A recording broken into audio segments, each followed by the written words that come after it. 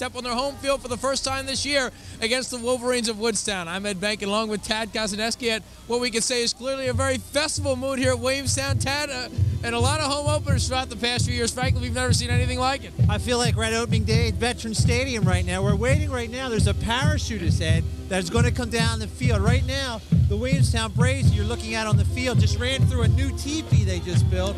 There's horses here at the one end zone. They just ran on the field. I just hope the parachute guys makes it down safely. And one team that is clearly on the rise instead of on the way down, the Williamstown Braves. Tad, maybe the best turnaround in South Jersey in quite some time. This is a team that won one game last year. They are 2 0, and I think the page turner was last week down in Delsea. There's no doubt about it. That big win over Delsea is the first time that they've beaten Delsea in quite a long time. It goes all the way back to 1988. In fact, that's the last time they started the year at 2 0. So they are really fired up tonight with this home atmosphere that's really, as you mentioned, quite carnival-like tonight. They should be in good shape. And we just saw the horses come on the field as well. This is Williamstown's first home game this year. Their first two victories against Pennsville and Delsea came on the road. And now they return home tonight for the first time against Woodstown, a Woodstown team that in past years has been a very difficult team for a lot of teams, including Williamstown, to beat. However, lately they have not had their winning ways, and this is really a tough season for a terrific coach, Clinton Ware. And he's he's the longest coach here in South Jersey, the most active coach, been here for 31 straight years. He's older. He's been coaching longer than you and I are old. Ed. That's how long he's been out here. The problem with them this year is depth. They have one returning starter on offense and defense, and that's an offensive lineman. And when you have a situation like that in a tough conference like this, you have your work cut out for yourself. And of course, Williamstown is a team that pounds the football down the team's throats. We've seen it the last two weeks. I think it's an obvious trend coming up tonight. The Williamstown Braves plan could be off tackle left, off tackle right, belly pound, whatever you want to call it. This is a team that can run the football, and I think it's an even matchup tonight. When you look on the line, and obviously a matchup in Williamstown's favor. And they're three and four deep running the ball. These guys are outstanding with Lopez, Kuzak, Polar, done a great job running the ball. Great blocking up front. Woodstown's biggest problem is going to be depth. They're only about 35 players in their team. They're going to have a tough time stopping them. And one thing we did learn about Williamstown last week as we get set for the parachuters, we're going to try and have you get a look at them in just a moment when they come down. But while we await for the landing here, we talked about how Williamstown can run the football. Let's not forget something. Ed Newcomb certainly proved to everybody last week against Delsea he is very capable of throwing the football. And the thing that impressed me most about Newcomb, and not only his passing ability, but if you think about it, his two field goals were the difference in the game. If he doesn't kick those two field goals, they probably lose that game to Delsea. So that is even a bigger factor. Maybe not for tonight, but as their season moves along. And defensively for Williamstown, that certainly made the difference down the stretch against Delsea. Terrific pass rush. And a gentleman by the name of Willis Cooper, two interceptions last week, a fumble recovery for a touchdown the week before. And again, we are waiting for the Skydivers. What we understand, they're in the air and, and on their way down. But uh, while we wait for them, uh, defensively, that's another strength of the Braves, particularly the pass rush they've been putting on. They've put on a lot of pressure on the quarterback. That caused Delsea a ton of problems. Thing that impressed me is their skilled position players. They do a good job anticipating where the ball's going to be run or thrown, and they always get to their spots defensively. They're real sound. And while uh, we wait just a little longer here, everybody's kind of looking up into the sky. Again, the parachuters are on their way down here. Uh, you look at this Tri County Royal, Tad. Williamstown tonight has a Woodstown team that they are favored to beat. They have a Clearview team next week that they are favored to beat. These are the games that teams that are emerging as powers have to win. Hey, it's great to win at Delsea, but the big thing, avoid the L word, the letdown against a team on paper you're capable of beating. And that's a game where you just have to stay focused. I don't think that'll be a problem with Coach He's been a leader throughout the years, does an outstanding job. I don't think it's going to be a problem tonight. Woodstown is a real struggling team. Clearview next year, they could present some problems so next week. And keep in mind, too, Williamstown's schedule gets very difficult down the stretch with teams like Gloucester Catholic, and here they come, folks. They have arrived with the game ball. Nice uniform. I like it. Very safe landing, too, as well. They are delivering the game ball. I think that's the first. There's another one heading down right now, and we'll get a look at them in just a second. And he's he's coming down. He's going to make it right to the center of the field as you get a great look at it. Here he comes. He's got a jersey on, Ed. He's got the uniform on. What a job there. Hits it right at the 50 yard line. Now, what are the Woodstown kids thinking right now?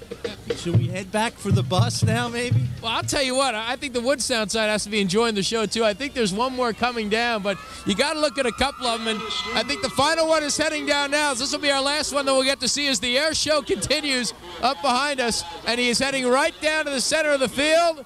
Touchdown. Wow, right on target. These guys, if they play half as good as Williamstown tonight, Williamstown's in great shape, Ed. Well, the crowd is certainly fired up, and right now it is time for us to step away as the parachuters finish their landing. Great atmosphere for football tonight. Williamstown taking on Woodstown. Coming up next on Jones Intercable, Channel 13. Welcome back to Williamstown, everybody. Tad Kosneski, Ed Benkin with you. Just about set for opening kickoff after one of the most dramatic starts of an opening home season you're ever going to see. Williamstown will take it at their own 15 yard line. This looks like Malone. That's Lopez, actually. Lopez up across the 35. Williamstown will take over first and 10 for the starting offense. Here's Ed. Thank you very much, Ted. Ed Newcomb, the quarterback for Williamstown. Now, they rotate four different backs in, so you will see Nick Lopez, Rich Polar, Rich Williams, and Reese Jackson all carried and carried well against Delsea. Angel Crespo up front as a tight end, along with Marcus Ramsier, Brian Baker, Robert Sampson, Anthony Vezza, James Obest, and Jason Morgan make up the offensive line for the newly blue-pantsed Williamstown Braves. On first and 10 for Williamstown, we'll give you the Woodstown defense after this play. First and 10 for the Braves. Handoff far side. Beautiful job there. Met at this, the line of scrimmage and the carry by Polar. Give him about a gain of three. It'll be second and seven. And you hear down on the field throughout the night, we'll let you listen in a little bit to some of the sounds of the football field. But Jeff Cullen, the linebacker from Woodstown, really one of the top players on this football team. Here's a young man who is a returning starter, and for a team that's supposed to struggle, he has played very well. Five foot seven senior gives it all every time he's out there. Second down and seven coming up for Williamstown. Their second play from scrimmage. Their first home game in 1996. This is Jackson. Jackson near side manages to get maybe a yard. It's going to leave it third and five, but there's a penalty flag down. Flag came in late, and you have to believe the area was thrown. This will be an illegal block or a clip exactly against Williamstown. So not a good start for the Braves. And you know, Tad, we mentioned this is maybe in some ways is almost as big a game as Delsea. People say that's crazy, but now that Williamstown has shown, hey, we're good enough to win on the road at Delsea, the sign of a contender just as important is to come back and beat a team you're supposed to beat. And they're, they're making some noise down there. Listen in. That's the guys hitting their pads, getting set. They'll mark off the 15-yard penalty. Again, Woodstown comes in this game at 0-2. Over the last five years, they are 16, 38, and 1. Their last winning season was 1991. So they have had some long, dry droughts on their football team. That's going to make it now, it looks to be second and 22 from their own 21-yard line. Right up the middle of the field with it. This is Polar. Polar, good running room. Nice tackle on the play made by Ben Pitts after a gain of about eight. Well, like we talked about at the top, uh, look for Williamstown to try and pound the football against a smaller Woodstown defensive line. That time just to play right up the gut, and Williamstown really needed that. Couple of bad plays, they get back on the penalty there, come right back, just basic smash mouth football. Polar does have two touchdowns on the year. That leads the team. It's going to bring up a third down and what looks to be 11. We'll call it 12. It's a long 11. Possible passing situation. Keeping it is Newcomb. He's going to roll with it. Gets around the corner, gets the first down, picks up a block. Finally taken out of bounds at the 45-yard line of Woodstown, but a big play by Ed Newcomb. Well, and the sideline certainly enjoys that. Ed Newcomb, as good as he is a quarterback with his arm, he can hurt you on the ground as well. And Tad, we saw it last week against Delsea, tremendous game on the ground. That's a backbreaker if you're a Woodstown fan, too. It looks like they had good coverage down the field. He was a heads-up play to get outside and gain the first down and get into Woodstown territory. First and 10 for the Braves from the 43-yard line of Woodstown. Man in motion is Williams. They give it to Williams. He's met at the line, gets around the outside. He's got some open field with some speed. He may make it. Gets pulled out of bounds at the 25-yard line. A heads-up game-saving touchdown tackle by Steve Gilmore, and it's going to be a gain of about 15. Well, Richie Williams has a habit of making people miss. we saw the case right there.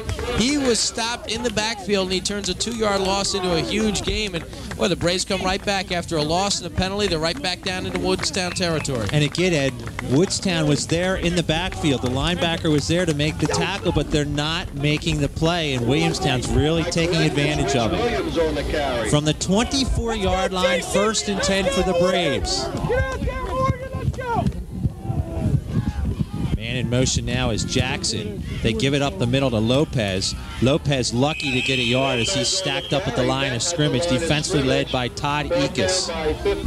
What a game Lopez had last week on both sides of the football. What a lot of people don't realize is Nick Lopez had a bit of a back injury last week, had a pulled muscle in his back.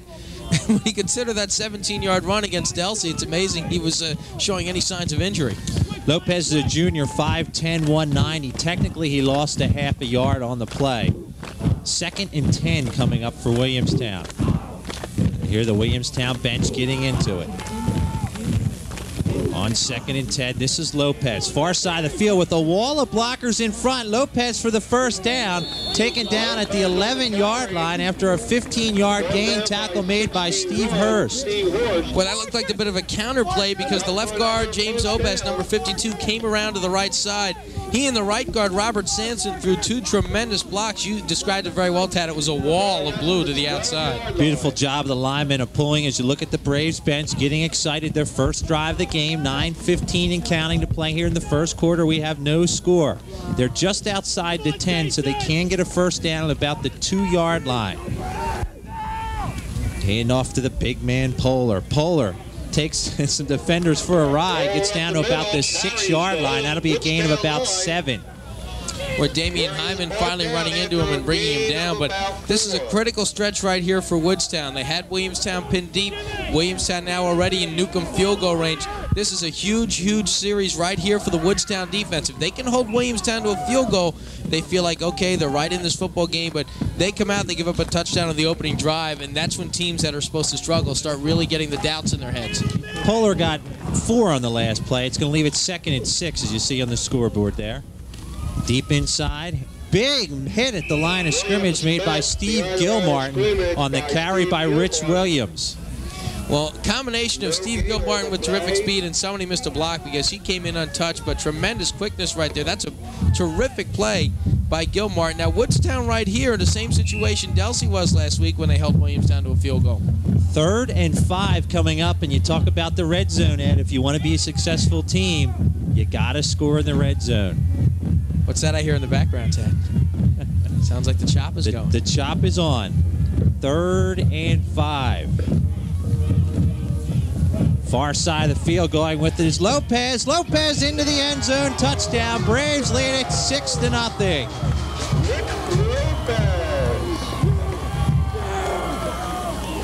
Boy, he made it look so easy, but the offensive line certainly helped. A huge hole for Lopez. He got down to about the two before he was even hit. And boy, what an impressive drive by the Braves. They wanted to play smash mouth footballs. The mini balls come out from the cheerleaders. They wanted to play smash mouth football. They certainly did on that drive. And coming in to kick the extra point will be Newcomb. He is two for three on the year kicking extra points. 6 nothing your score, 7.40 to play here in the first quarter. Kick is long enough, and the kick is good. So Williamstown with 7.40 to play in the first quarter leads it 7 to nothing. There is head coach Frank Fusatola bringing his troops in after a very impressive touchdown drive. I don't know if we'll get to see that again, but boy, Nick Lopez barreling through a wide open hole before anyone met him. And there's Brian Baker. You see big number 75. He certainly helped on the outside. No question about that. Baker listed as 6'2", 310. Here it Here is it is again, Ed. Here it is again, and look at that hole he had to go through. Brian Baker opening up some space. You got a great look at it there. What tremendous room for him to run. And, and Tad, it's the old cliche. This is one of us said, boy, you or I could run through that hole for a touchdown. But Frank, I'm going to Atlantic City soon. I think I might have to take him up on that. Newcomb with the short kick to about the 15-yard line. Woodstown taking it up the field with it there. That's Pitts, I believe. He's put down on the ground. A beautiful tackle made there by Ed Newcomb, the kicker. Well, John Pitts got some room up the middle there, and Williamstown did give up a couple of long kickoffs against Delsea, and that time the seam opened up up the middle. Delsea special teams kind of formed that wall straight up for whatever which way they're going. That time Woodstown opened up a seam in the middle, and the blockers were able to do the job. Woodstown offense this year has scored one touchdown. They average three points a game. They have given up an average of 32 and a half points a game. First and 10 from their own 40 yard line. Clark, the quarterback. Man in motion is Pitts. Quick pitch. This is Romano. Romano's going to lose four yards. Great defense in there. Newcomb leading the charge and a host of Braves. Well, when Woodstown lines up in that high formation, a lot of times they like to throw a toss to the outside, and the Braves are obviously very schooled on that right there. As Mr. Newcomb, of course, finishing off that tackle. But again, for Woodstown, we talked about how it was critical for them to stop the Braves. It's just as critical for them now to get a long drive going because if they give it up on three and out here early in the first quarter, they're going to start to look upward in a hurry. So you mentioned they've only scored one touchdown this year. By the way, in the team series in the last five years, Williamstown has won all the games in the even years. Woodstown has won all the games in the odd years. Course, this is an even year, so maybe it should go Williamstown's way, and it is right now, leading at 7 0. Clark back to pass. Screen pass near side for Gilmartin. Incomplete. It's going to bring up a third and 14. Well, Gilmartin got open just for a moment, got behind Rich Williams, but the pass was a little overthrown, and that time uh, quarterback Clark just tried to lead him a little too far. Good call that time by Clint Ware. Unfortunately, for the Wolverine standpoint, it falls incomplete.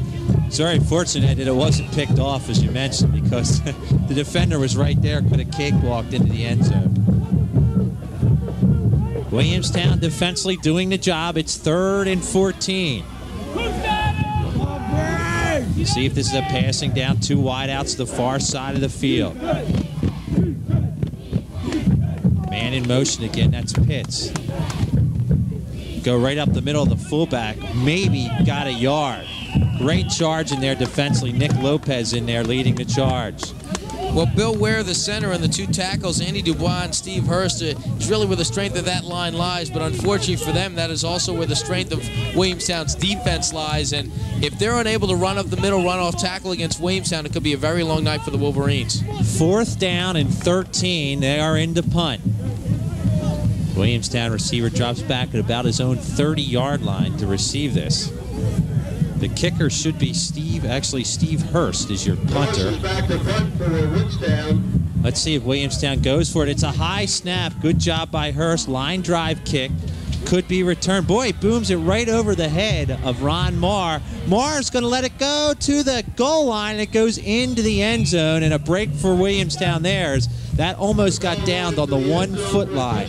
Very big break, too. And, and Mr. Marr had to be careful because after he let it roll, he almost touched it. And had he touched it and Woodstown falls on that football, then it's a free ball, and Woodstown's got a touchdown to the ball on the one yard line. We talked about Ed the series between these two teams. Last year, Woodstown won this game 20 to 14. In '94, Williamstown won it 16-13. '93 was Woodstown's year, 10-8. Williamstown in '92, 21-7, and our only big score was in '91. Woodstown won that game by a score of 42 to 7. So the games have been fairly close. Right now, Williamstown leads at 7 0, 5.42 to play. Near side with it is Jackson.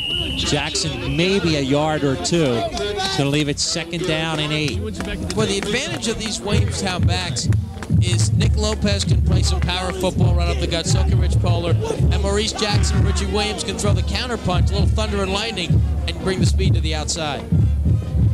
It's going to be second down and seven. Is boy, the band is loud, the crowd is loud tonight. We are cranking it from Williamstown. Their home opener.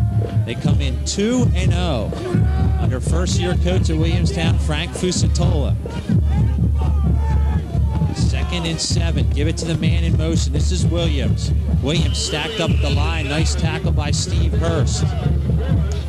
Well, Woodstown had a chance to stop Williamstown before, and they gave up the big run to Ed Newcomb. That was the big play of the first drive for Williamstown. They're going to have to find a way now on this third down to come up with a stop, and it's critical for the Woodstown defense right here early on. They had to punt the ball away three and out. If they can stop Williamstown here, they'll have decent field position. Third down and what is now eight as they lost a yard on the play. Two wideouts to the near side. Nick Lopez and Mike Bateman. Back to pass is Newcomb. He's got plenty of time. Going deep, has a man open. Tipped and incomplete. Nick Lopez was open by about five yards. The coverage led by Omar Hill to be fourth down. Not a bad throw there by Ed Newcomb. And as you mentioned, Lopez almost came up with a football. Ben Pitts managed to cover the ground with his speed, got there in time just to poke the ball away a little bit. Then it went off the helmet of Nick Lopez. But after power football, power football, not a bad call either to go for the long ball. If, if Newcomb got a little bit more on that, that's probably a touchdown and not a bad play on third down because if it's intercepted, probably just as good as a punt. So the punt team now on it, fourth down. Williamstown into punt. Back up, back up, guys. We're in the field. Back up. Is that Newcomb into punt? Newcomb is into punt. Two back for Woodstown. There are two men back. Nice high kick. Going to come down about midfield. Stays in play. And Woodstown going to give up possession as it's downed on the play by Ron Marr at the 38-yard line. Tad, you and I were here two years ago for a game with Williamstown where they played Gloucester Catholic, and I think you might remember this. Nick, Ed Newcomb was the punter. Two times he had a low snap. He had to run to avoid the rush. Not only avoided the rush, but got off two tremendous punts. So he certainly can do it, as we see, as a place kicker and also as a punter. 4:02 to play here in the first quarter. The Braves lead it 7 to nothing. Tad Kozaneski, Ed Benkin with you here on Jones Intercable Channel 13. Woodstown will take it over first and 10 at their own 37. Watching you, Marcus. Man goes in motion. That's Pitts. Give it to the tailback. Romano. Romano stuffed at the line of scrimmage. Maybe got a yard on the play, leading the charge in there defensively. Rich Polar. Where Polar, Comfort, and Newcomb all got in there to make the play. And boy, that's that's Woodstown coming out with their strength. They go to the off tackle play to the left. Nothing doing against this Williamstown defense early on. Going to bring up a second down and 10 for Woodstown. They have not gained a yard yet. As a matter of fact, they have lost a total of three yards on offense thus far. Williamstown defense looking very impressive. Second and 10. Two wideouts to the far side. Back to pass now is Clark. A rainbow out of play, far side. Trying to get that up to John Pitts, incomplete. Well, Tad, I'll tell you why that was a rainbow because big number 70, Jason Morgan, came in and laid a lick on Clark just as he got that football away. Clark actually doing a nice job of getting that football away before getting clobbered. And the defensive front of Williamstown is winning the battle in the trenches so far. With 3.12 to play here in the first quarter, it's going to bring up a third down and 10. They're still looking for their first positive play from the line of scrimmage. Their best play thus far has been the kickoff return by Pitts. As we mentioned, Woodstown has only scored one touchdown this season. This is their third game. Third and 10. Back is Clark.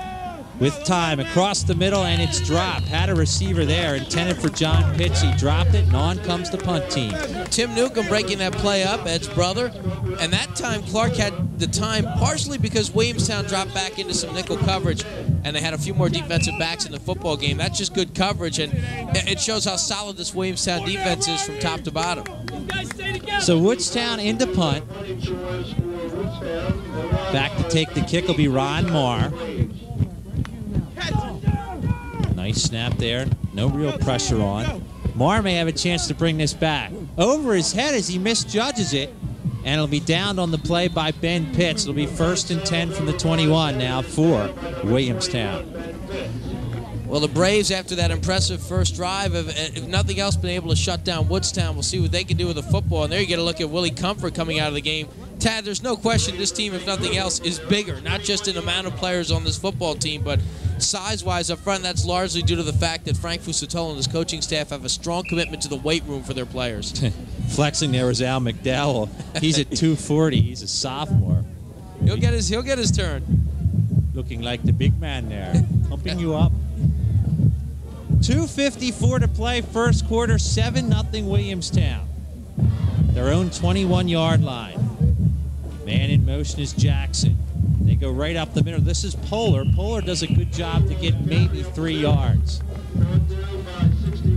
Another strong run as Polar tries to feed off that left side. And again, that's right around the neighborhood of James Obest and Jason Morgan. Jason Morgan is one of those seniors who talked a lot about how he was sick of losing and he was ready this year. And, uh, you know, you had to be especially happy for the seniors last week who had to suffer uh, through pounding after pounding against Delsea. You could see Brian Baker, number 75, the left side of your screen. 6'2", 310. I think that one is a bit of a misprint on, your, on, your Wow. sheet, on our sheets. Up the middle now. Good running room to the outside. This is Lopez. Lopez for the first down, racing down the sidelines. Finally tripped up by Ben Pitts, and that might have gone the distance had Pitts not made the tackle. Yeah, it's a tremendous play by Pitts. The two corners, Ben Pitts and Ron Pitt and John Pitts rather for Woodstown, have some tremendous speed, and I think that was the difference. But one thing about Nick Lopez, he will run hard every single time he carries the football. Here it is again, and you take a look into the outside. Look at the room he has again. You got a great look at it. Nobody near him for about six yards, and then the rest is done by Nick Lopez. It's a 40 plus yard gain for Nick Lopez, who now has unofficially 59 yards on three carries. First and 10 now in Woodstown territory. This is Jackson. Jackson, good run up the middle for about six or seven. And again, Jackson is getting, and the running backs are getting a good three or four yards before they face that initial hit because this offensive line is really doing a fine job knocking off some of the defensive players for Woodstown. And they have a couple decent players in the form of Adamopoulos, Ware, and Hyman. These guys can play some serious football up front, but so can the Williamstown offensive line. 136 to play here in the first quarter. 7 0 Williamstown. Second down and about four coming up. This is Polar. Polar's going to get the first down and a few more. Brought down on the play by Steve Hurst. It will be a first down. Jason Morgan again throwing the block out there, and plenty of room once again for Williamstown to run. They don't need the big play. Hey, if they get it, they won't complain. They can get it four or five yards at a time right now, the way this offensive line is already starting to wear down that 50 defense of Woodstown. Polar comes in at 6'1", nearly 200 pounds. A timeout is called on the field. There you see Coach Fusatola with the Braves. And while we have a moment, we'd like to tell you about TAD, a brand new sponsor here on Jones Intercable Sports. Our good friends at A King's Limo, offering corporate transportation with new limousines, Lincoln Town Car sedans, dependable, courteous service. They have prompt airport transportation at reasonable rates. They'll go to Philly, JFK, LaGuardia, Newark, AC International, and also the New York and Philadelphia docks. Hey, they go anywhere. In fact, they have their frequent traveler discounts at A King's Limo. Their telephone number is 1 800 649 5919. Hey, don't forget the holidays are coming up. They'll be happy to keep your holidays safe for office parties, nights out, New Year's Eve. They offer special deals for their limousine service. You get the royal treatment at A King's Limo, the very best in the business. Hey, for later in the year, proms, weddings, no matter what you might need a limousine for, A King's Limo, the place to be. Happy to provide limousine service for your company's holiday party. And again, mention you heard their ad right here on Jones Intercable Sports, and you get a free hour of limousine service. A great combination at A King's Limo. Let them do the driving for you. Call them at 629 2240. That's 629 2240. First and 10 play coming up for the Braves. 121 to play first quarter. They lead it 7 to nothing. Newcomb positioning the offense there. Have a wide out to the far side in motion is Jackson. They give it to Jackson. Jackson met the ball's fumbled and Williamstown loses the ball. Woodstown is going to pick it up. A great jar- er, job there, Ed, on the recovery. Recovered by Steve Gilmartin and a big hit. That was a big hit, and what was amazing about that is everyone just seemed to stop for a second, but finally, alertly picking that up was Steve Gilmartin, and here it is again. Boom! Whoa! What a hit laid on by Damian Hyman, and they get the fumble recovery. Got a good second look at it right there, and really not too much to fall to Maurice Jackson. That was a series that Got the helmet on the football. That really keeps Woodstown in the game with 114 to play in the first quarter. They trail at 7 0 because it looked like Williamstown was driving down the field. Two wideouts to the far side could be a passing down on first and 10 for the Wolverines of Woodstown. Back to passes Clark. He's got time. Arcs one up far side, a jump ball intended on the far side for Pitts. He's really got to watch himself, Ed. He's really looping up some balls there. Well, very interesting that Clint Ware has chosen to put the ball up as many times as he has so far this game. Of course, they try to run the football when they can, but Obviously, uh, Ware deciding if he's going to do anything against this Williamstown defense, he has to establish some kind of air attack, if nothing else, to try and balance out the running game. And so far, the Williamstown pass rush, they don't have a sack on Clark, but they have a couple of knockdowns. Dangerous passes, though. If I'm Williamstown defense in the secondary, you look for that pass, look for the anticipation because he's fairly easy to pick off. Second down and 10. Clark back again. Scrambling to his left, has a little bit of room, fumbles the football, and Polar recovers it. So they return the favor, and Williamstown picks up the ball first and 10 from the 30 of Woodstown. Polar recovers it, and Ed Newcomb forces the strip. And Ed Newcomb, that is a textbook strip tackle right there as he came from the blind side on Clark. Here it is again. Look at that play by Newcomb. Clark is holding the ball you saw up above his shoulders. Newcomb just grabbed that right arm, knocked the football away, and the capacity crowd behind the Braves bench obviously very happy. There you see some of the crowd right in front of us, and winning will do that for you, Ed. They are packing them in here. At a very large contingency down in Franklinville last week. First and 10, this is Polar. Polar stacked up at the line, brought down by Todd Ekus. Maybe a gain of two. It's a strong play by Ekus, and this is where Woodstown has to dig into the trenches again. And boy, if you're Clint Ware, you have to be frustrated. You get the break, you get the turnover, and suddenly you give it right back. Buena did the same thing against St. Joe's last week, and before we knew it, a 7 0 game was 35 0 at halftime. 33 seconds and counting to play here in the first quarter. 7 0 Williamstown holds the lead. It's second down and 8. Send the man in motion. Newcomb on the pitch, going with his Williams. Williams tries to get around the outside. Beautiful job on the tackle there by Steve Hurst, who plants him right into the ground. Nice tackle by Steve Hurst, and a nice job by really the entire Woodstown defense on that delay. Nobody was fooled. Nobody went to the inside. Everybody merged over to the near side of the field, and really there was no room for Rich Williams to string outside. Williams run and that is going to do it for action here in the first quarter. Braves leading the Wolverines 7 to nothing. Ed and I will be back with more here on Jones Intercable right after this. With a score, Williamstown 7, Woodstown 0. Let's go. Third down and five play coming up. Nice running room with it is Lopez. Lopez gets the first down and a gain of about 10 yards. Lopez is the man I'd want to see carry the football on a third and five. It's worked out so far for them tonight. Second time he's converted on a third down play, actually the third time. And Williamstown, I think, just going back to the basics here a little bit so far. I think you're going to see a lot of power football once again on this drive. Tackhausen, Eski, Ed Bankin with you here. Second quarter action on Jones Intercable Channel 13 with Williamstown leading at 7 to nothing. This is our second play of the second quarter. Here's Polar. Polar right up the middle by one man, can't get by the third. Tackle him to play by Steve Hurst after a gain of about five. Steve Hurst is a fine two-way player on this football team and really the heart and soul of this team as well. Really can do it on both sides of the football as a tackle and 6'1", 220. He is a senior and he wears Williamstown or Woodstown pride on his sleeve, no question about it. He comes to play every single down, real tough competitor. Second down and five for the Braves. They can get a first down about the four yard line. This is Williams. Williams with a big hole far side of the field, close to the first down. He might be a yard short and a gain of about four. Tad, I've lost count of the number of times we've said big hole on a play because that is what you are seeing so far. Just tremendous running room. It's uh, now the third and short situation. Williamstown, you got to believe they're going to run right up the gut again, do something off tackle. Uh, a situation here, a lot of different options. Even though it is third down, I think they're looking at fourth down territory. Third down in what is called a long one here. They need about a yard and a half, and usually this has been polar territory. There is Polar up the middle. Polar looks like he has enough for the first downs. He gets down to the two-yard line where he's tackled by John Pitts.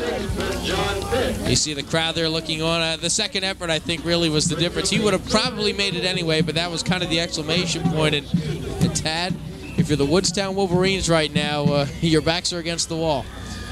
First and goal from about the two-yard line. Williamstown cruising as you look at the Braves and the sidelines. Here's Polar up the middle, stacked up at the line. Nice tackle by Steve Hurst, the senior. As Steve Hurst really did the job, and he got some help from his friends up front. As Bill Ware and company were able to occupy the two blockers and really clog the middle. Really no running room that time. There you see Willis Cooper, a sophomore, joined in there by Tim Newcomb. Tim's got the do rag on. He's ready to go.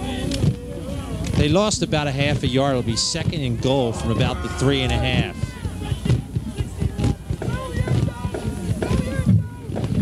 Here's Lopez. Lopez buried. Another nice hit again by Steve Hurst.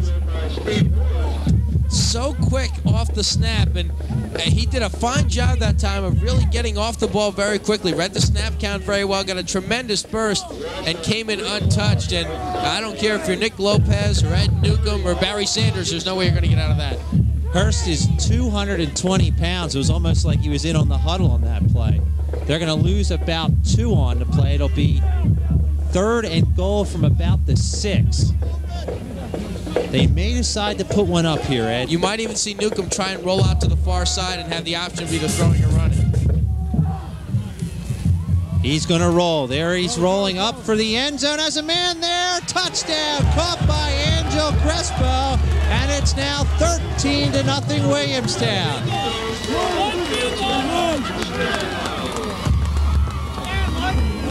Well, a good call. There it is on the replay. He's got the far side of the field, and a great job by Newcomb because Damian Hyman got free of his block, came in and hit Ed Newcomb. But Newcomb did a fine job able to throw that pass away. And one thing Newcomb does very well is he stays cool under the rush, can throw a good pass under the rush. Did so right there. Angel Crespo, a little juggling act, but he pulled it in. The coverage was there, but he got the pass where it had to be. Good job by Newcomb there on the touchdown pass. In for the extra point is Newcomb to be held by Jeremy Grimes.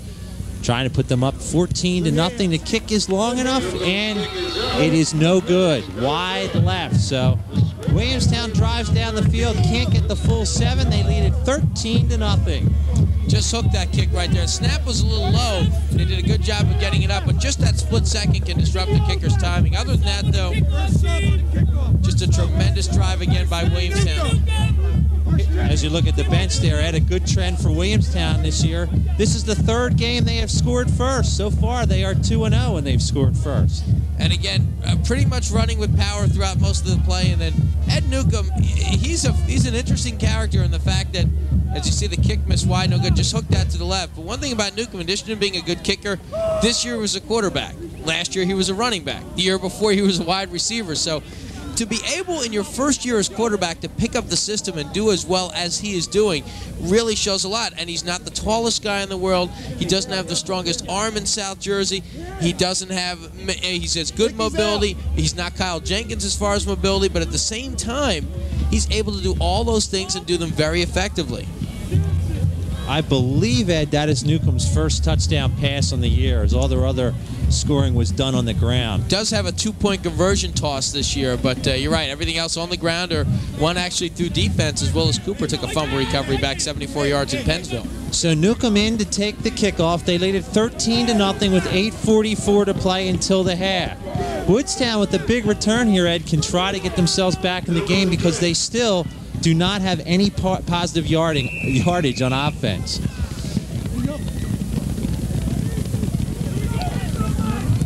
Newcomb with a nice kick. This goes back to the goal line.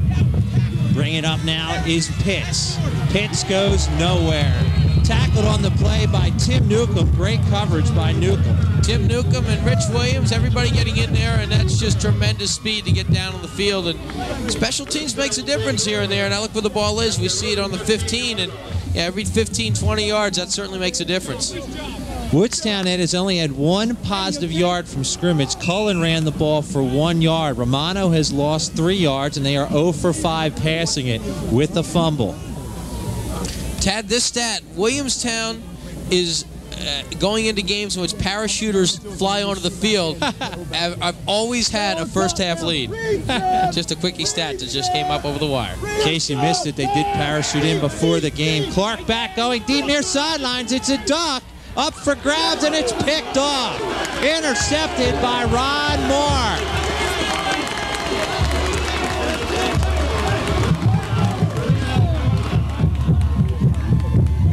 There he is right in your living room, and here it is again.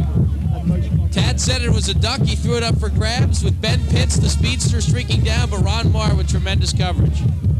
Ron Marr Jr., 5'9", 160, in great position as you're right down on the play with the referee there. That was a great play. There you see, you just saw him way in the background, head coach Frank Fusatoli. You see him at the bottom of your screen right now, pointing out there.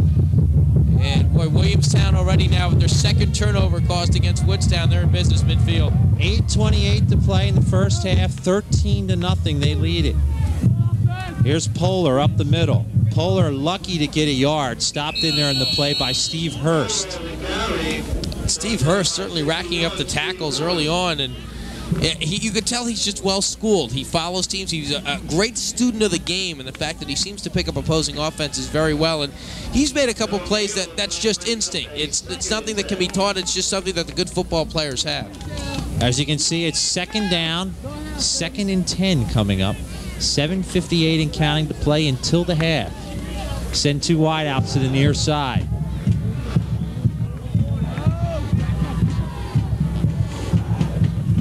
Back to passes Newcomb. Great protection. A bullet in and out of the hands on the near side of the field for Angel Crespo, who was open.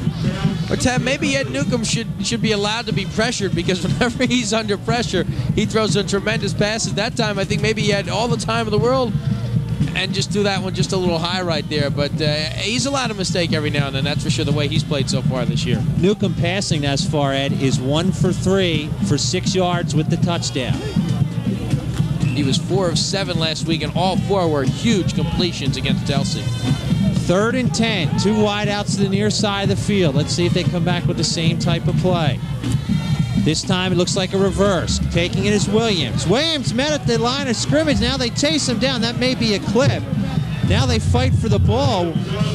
Lucky to get back to the 50 yard line as Woodstown was just going after the ball and almost got it away. Well, that draw, that uh, reverse rather took a little long to develop, but I think you could see it coming. And in fact, we saw it coming up here, and the Woodstown defense saw it coming. So instead of pulling all the way over to the near side, they pretty much stood their ground. There it is on the replay right there. Good job by Williams to get away from one man before he's finally gang tackled. And boy, coming in to throw that block, as you mentioned, Williamstown was James Obest. It's a nice block, but it was close to a clip, Ed. The rule of thumb is if you can see the numbers on the back, it was officially a clip, Ed, as they're just signaling it now on the field. So it was called a clip, but it'll be declined. And Woodstown has to get the football back right now. They're in a situation they can accept the penalty keeping in mind that Williamstown has had some big plays. Now they're in a situation they get Williamstown, obviously fourth down, to punt it away. So Newcomb will come in to kick. He's had a couple nice punts in the afternoon. Pitts is your man back for the most part. Has returned a majority of the action back there with Pitts. Both Pitts, John and Ben. They're both juniors. Little confusion for Williamstown. Now looks like they're ready to get the punt off.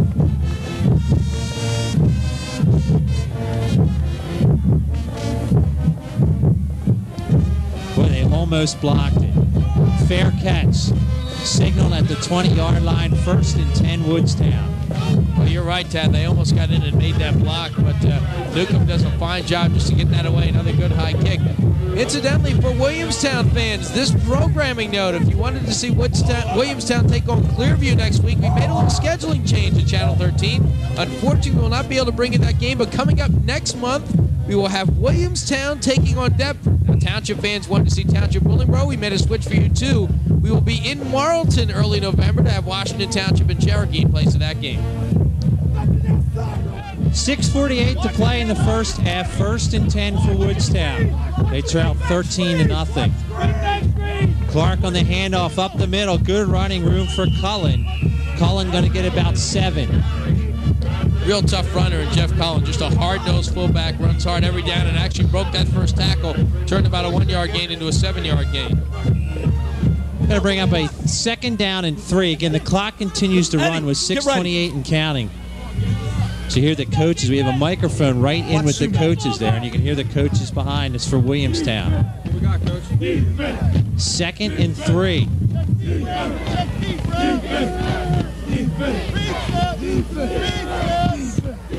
Give it to the fullback. Cullen again. Lucky to get a yard.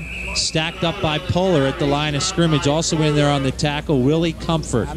That, that's a play there where just the helmets go against the helmets, power football, and this time the battle is won by Rich Polar in the trenches. Did a great job really coming up hard with a tough runner, bringing him right back. That's a fine defensive play by Polar, closing up that hole. Going to bring up a third down play upcoming for the Wolverines who trail at 13 to nothing.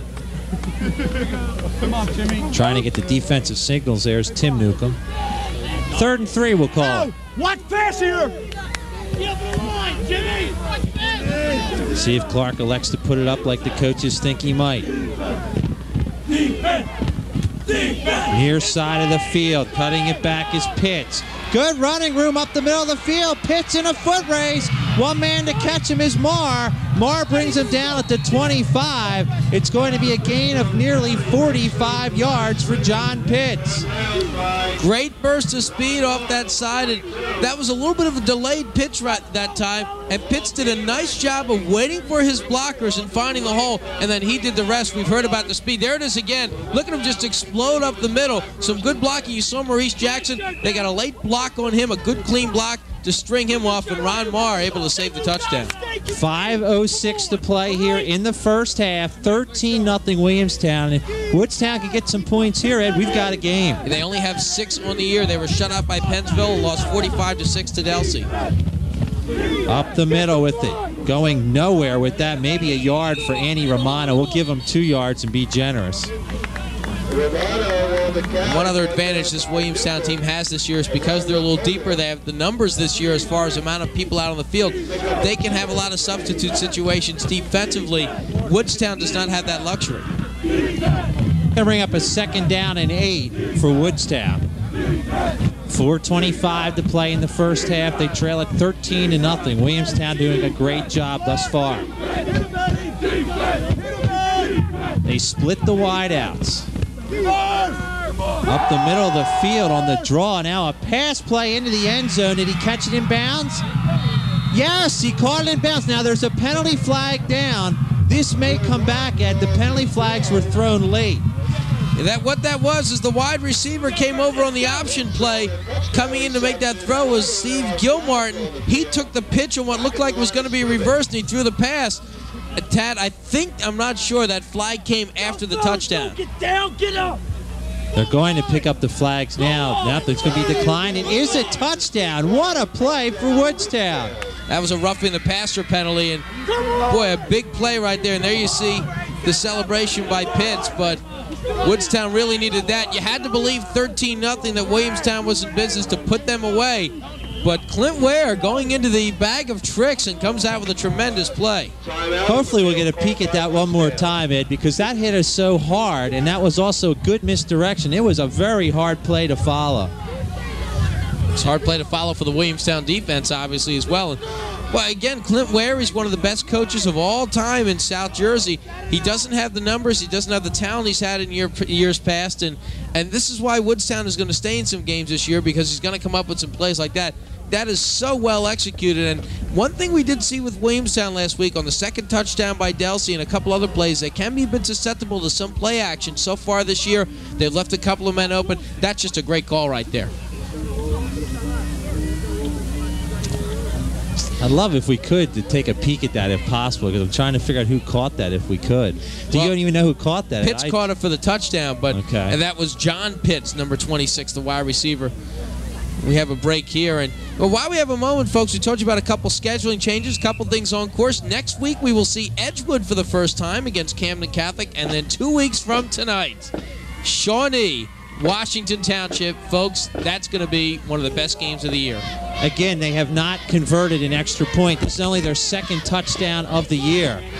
So Woodstown in. They are 0 for 1 kicking. It looks like Steve Gilmartin in to take the kick.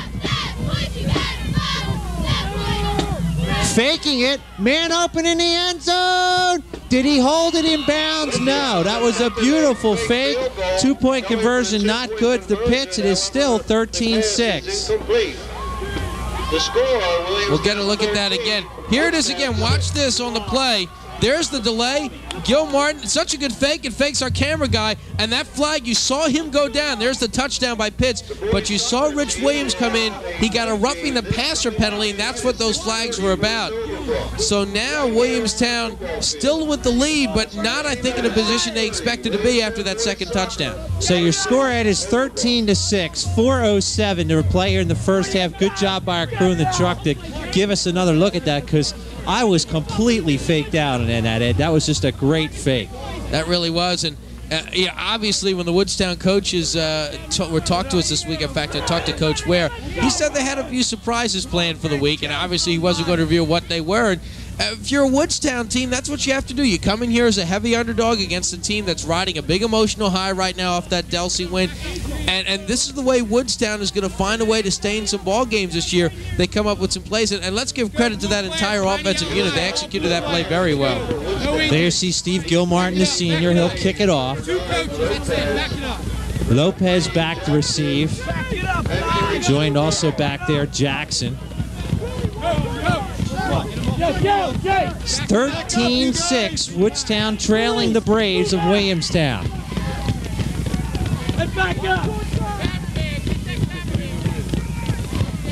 They're going to move our cameraman. He's saying he's on the field. Yep, there he goes. Sorry about that at home, folks, but uh, the game was being held up, so we, we had to give you an earthquake shot just for a second. Can't be standing on the field. You got to give him an A for effort. He was right out there. Maybe he can make a tackle for the Terry Woodstown Cadigan, team. Terry Cadigan is doing a fine job down on the field tonight. Woodstown brings it up. This is Williams. Williams stacked up and tackled by guess who? Steve Hurst. By number 61, Steve Hurst.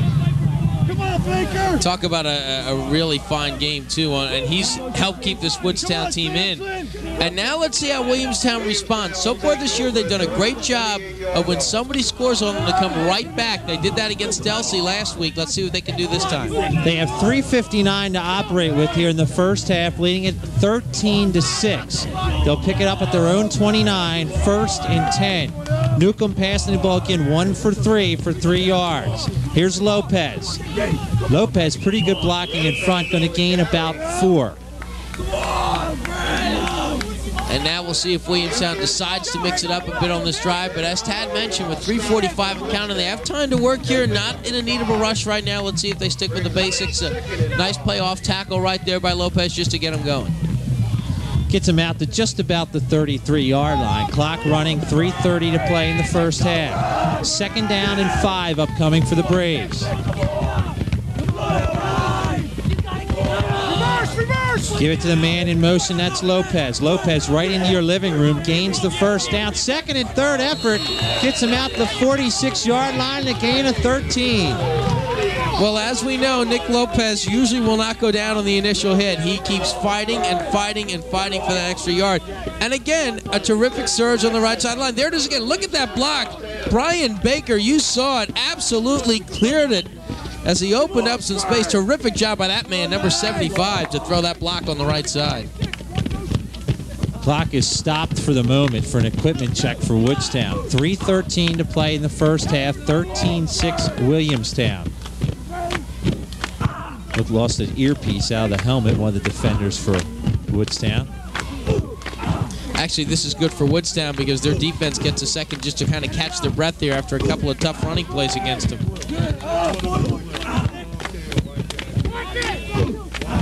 Now we're ready to put it back into play. Clock runs now 3.10 and counting. Let's go, Falcons! Here's Polar. Polar right side gets across midfield to the 48 where he's tackled by Jeff Cullen. It's a gain of about six. 46, 46, one.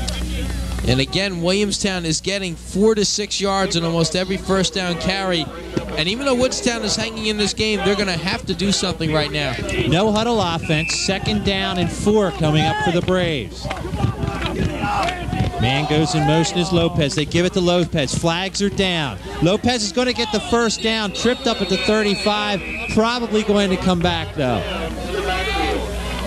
Boy, three flags go down, so all the officials saw one thing, an illegal shift right there against Williamstown. And Well, you know, this is the first time we've seen the Braves use the no huddle. And on any level, high school, college, or NFL, it can be a very complicated system to learn and to work with, especially when you have a quarterback in his first year. And, and so you might see this a little bit early on for teams, uh, especially uh, a team like Williamstown, to give them the new quarterback that goes with the no huddle. There you see the signal from our referee tonight, Mark Morey. That is the second penalty of the game against Williamstown, now penalized for 20 yards. 2.32 to play until the half. Williamstown leading at 13-6. It'll be second down and nine. In their wing T offense. Fake it to Lopez. Back to pass Newcomb. Wide open Polar. Polar for the first down. Far side of the field, taken down at the 30 yard line. Nice tackle by guess who? Steve Hurst. And he had to come all the way across the field to make that play, but very, very well executed on that play by Williamstown as they come with that pass. Newcomb is so effective at rolling the opposite way and then still being able to get set. He threw a strike to Rich Polar, who was wide open, caught the Woodstown defense napping. Newcomb now two for four for 31 yards. First and 10 from the 31. 209 and counting to play in the first half. Man in motion now is Williams. Newcomb is going to be sacked. Beautiful pursuit in the backfield by Omar Hall, a sophomore. Now, the quarterback appears to be injured, Ed. Well, this does not look good. Ed Newcomb went down, and again, hopefully he just pulled something right there. And then, boy, you know, he got wrapped up around the ankle, so that could mean a lot of things. But this is not good for Williamstown now. He is in some pain. The training staff out there, they see Coach Fusatola. Boy, if he goes down, Ed, that is one loss they can't absorb. Here it is again. Ooh, that's the you're right. That's the ankle, Ed. So Ballerini into quarterback on second and 17. This is Lopez. Lopez tries to get around the corner, cuts it back in, and goes nowhere. A loss of a yard or two, leading the charge Omar Hall. Well, you're right, Tad. Uh, exactly right, as a matter of fact, is Woodstown knows Williamstown's going to have to run the football here a little bit. In fact, third and long here, even though they're in Woodstown territory, especially now with Newcomb, their kicker not in the game, they may just run it here, try and regroup, and get adjusted with the new quarterback. I'm a little surprised with it being third and about 20, 20 or 22. They're calling it third and 20. I'm surprised Woodstown didn't take a time out there. Don't know officially how many they have left, but again, you can probably assume this is going to be a running play here, and they are in running formation. Williams goes in motion. Polar up the middle. Polar on his feet. Gets about six yards where he's taken down by John Pitts. Penalty flags fly. We'll see if this goes against Woodstown. Tad, I think Woodstown would have taken a timeout if the ball was deeper in Williamstown territory. Here, it's it's already it starts to play for the line of scrimmage at the 40, so they're figuring they're going to get pinned. It's against Woodstown. That may be a personal foul. I missed the signal. And again, uh, Ed Newcomb is being attended to on the sideline right now, and uh, we won't know if it's anything serious with that wrist until they get it X-rayed. They mark it off.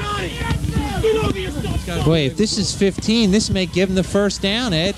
It does. It's a personal foul. 15 yards gives the Braves a first down. Keep in mind here with 55 seconds to go, again, normally this is Ed Newcomb range. He can hit from 30 plus yards, but Williamstown has to think six here with their kicker out. Again, your new quarterback in the game, John Ballerini. Now another switch, Tad, as we have Willis Cooper in a quarterback. So Cooper in, thanks, Ed. Rolling is Cooper. Penalty flags fly. This play will not count. Probably you'd have to think against Williamstown. It's just tough for any quarterback coming in. And again, it's a cold night, too. So the one advantage with Willis Cooper, as we know and as we've seen with this play in the secondary, he's a fast player. So I, am guessing, and again, this is the first time we're looking at him as we see the false start marked off against Woodstown. He's the kind of quarterback that is a mobile quarterback, a lot like Eric Mitchell of Edgewood. He can do a lot of running as well as throwing. Cooper, also a sophomore, 5'10", 150, is number 19. This is going to be first and 15, 37 seconds and counting to play in the first quarter. Cooper with a quick out near side, caught nicely by Crespo. Crespo going to need to get out of bounds. I don't think he did. Nice tackle on the play by Pat Ray. Clock runs, and now Williamstown's going to spend a timeout. Well, the Braves take the time out here, and, and, and if you're sitting at home, you're wondering, geez, you know, you know why that quick out when you you've got 30 some seconds go now 23 seconds and you're about 25 yards away? Well i mean there's a chance you could break that play but i think more importantly why that was a good call is you've got a new quarterback in and a lot of times to get a new quarterback going, you see it again on every level, they might start out with a quick screen, a quick out, something short, something simple to complete that gets the quarterback feeling better and gets him going. We have 23 seconds to play in the first quarter, 13-6 Williamstown. But if you're tuning in, the big story here, the injury to quarterback Ed Newcomb. And there you see the Williamstown fans looking on, a few yawning. I guess they're bored early on here in the first half. Great game. Glad you're with us here on Jones Intercable. Well, so much electricity here for the home opener to get things started, but uh, and again, our, our, cameraman is right near there. We'll probably get a report at halftime. Uh, and really, the electricity has gone out somewhat, and all these players have been tremendous. But Ed Newcomb, as you mentioned, Ted, probably is the one that can afford to lose the least. Second down and 14 upcoming. 23 seconds to play in the first half. Keeping it and running with it is Cooper. Cooper going up to the end zone has a man there, and it's incomplete. Probably could have been intercepted by Steve Gilmartin, but he dropped it. And Damian Hyman came in and really laid a lick on Willis Cooper, so that's why that ball kind of floated up a little bit there. And there is Willis Cooper right now. And again, tough situation for any quarterback to come in, but that time he took the hit. Still managed to get the ball away, but a dangerous pass. Third and 15 upcoming. You might as well just throw it up to the end zone here regardless, Ed. Got 14 seconds to play. The clock will start on the snap. Third and 14. 15, excuse me. Let's see if Cooper is going to put another one up. He will. He's got a lot of time. Slips, goes up to the end zone, has a man there open. It's Williams, incomplete. Pretty decent coverage by Pitts, but Williams almost came away with it. And a nice throw there by Cooper, and he had to stand in. The pocket was collapsing around him. Managed to get away a nice pass, but good coverage that time by Woodstown. Five seconds to play in the first half. Probably going to be the last play of the first half, Ed. You might as well go for the end zone again. And we might see trips left or trips right here. Line up three receivers to one side. And when you have people like Williams and Jackson and Crespo, you got some talented athletes out there, and it'll be up to the Pitts duo to come up with the same coverage as they did now. And, and Woodstown, if they can knock this down, has to be very happy, only down by seven at the half. Fourth and 15. Two receivers far side of the field. Probably going to go to the far side. Cooper with a quick pass, incomplete.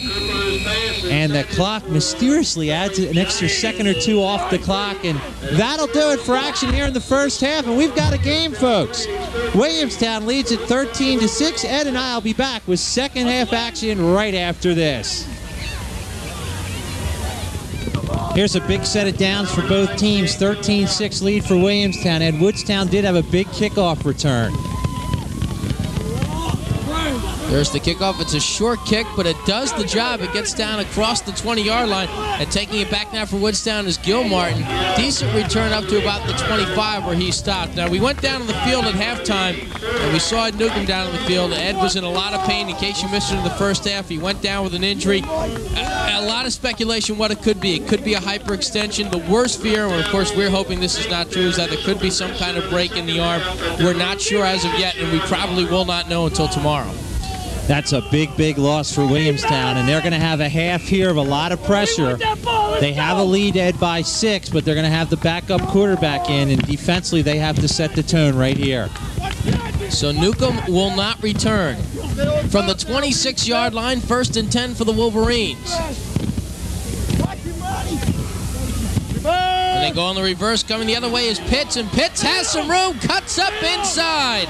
Ben Pitts into Braves territory down at the 40 on a well-designed play, but a penalty flag comes down late.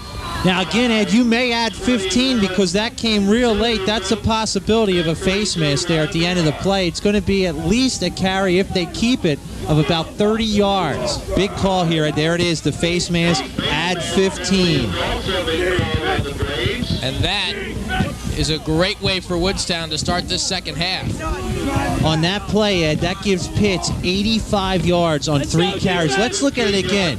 Here you see Pitts, beautiful blocking in front, and the face mask is going to come up right there.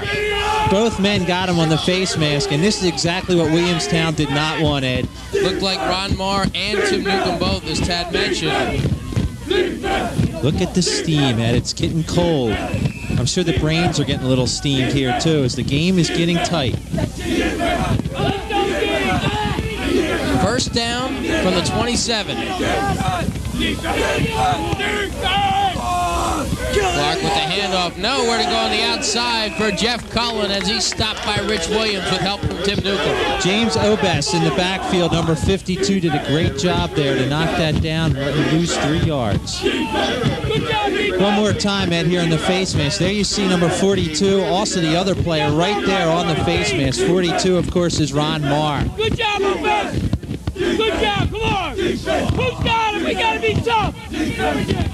Well, the Braves sideline certainly doing what they can here. Let's go, Jason. Second down and 12 from the 29 We for the to be tough Wolverines. By the way, passing Ed first half, they were 0 for 5.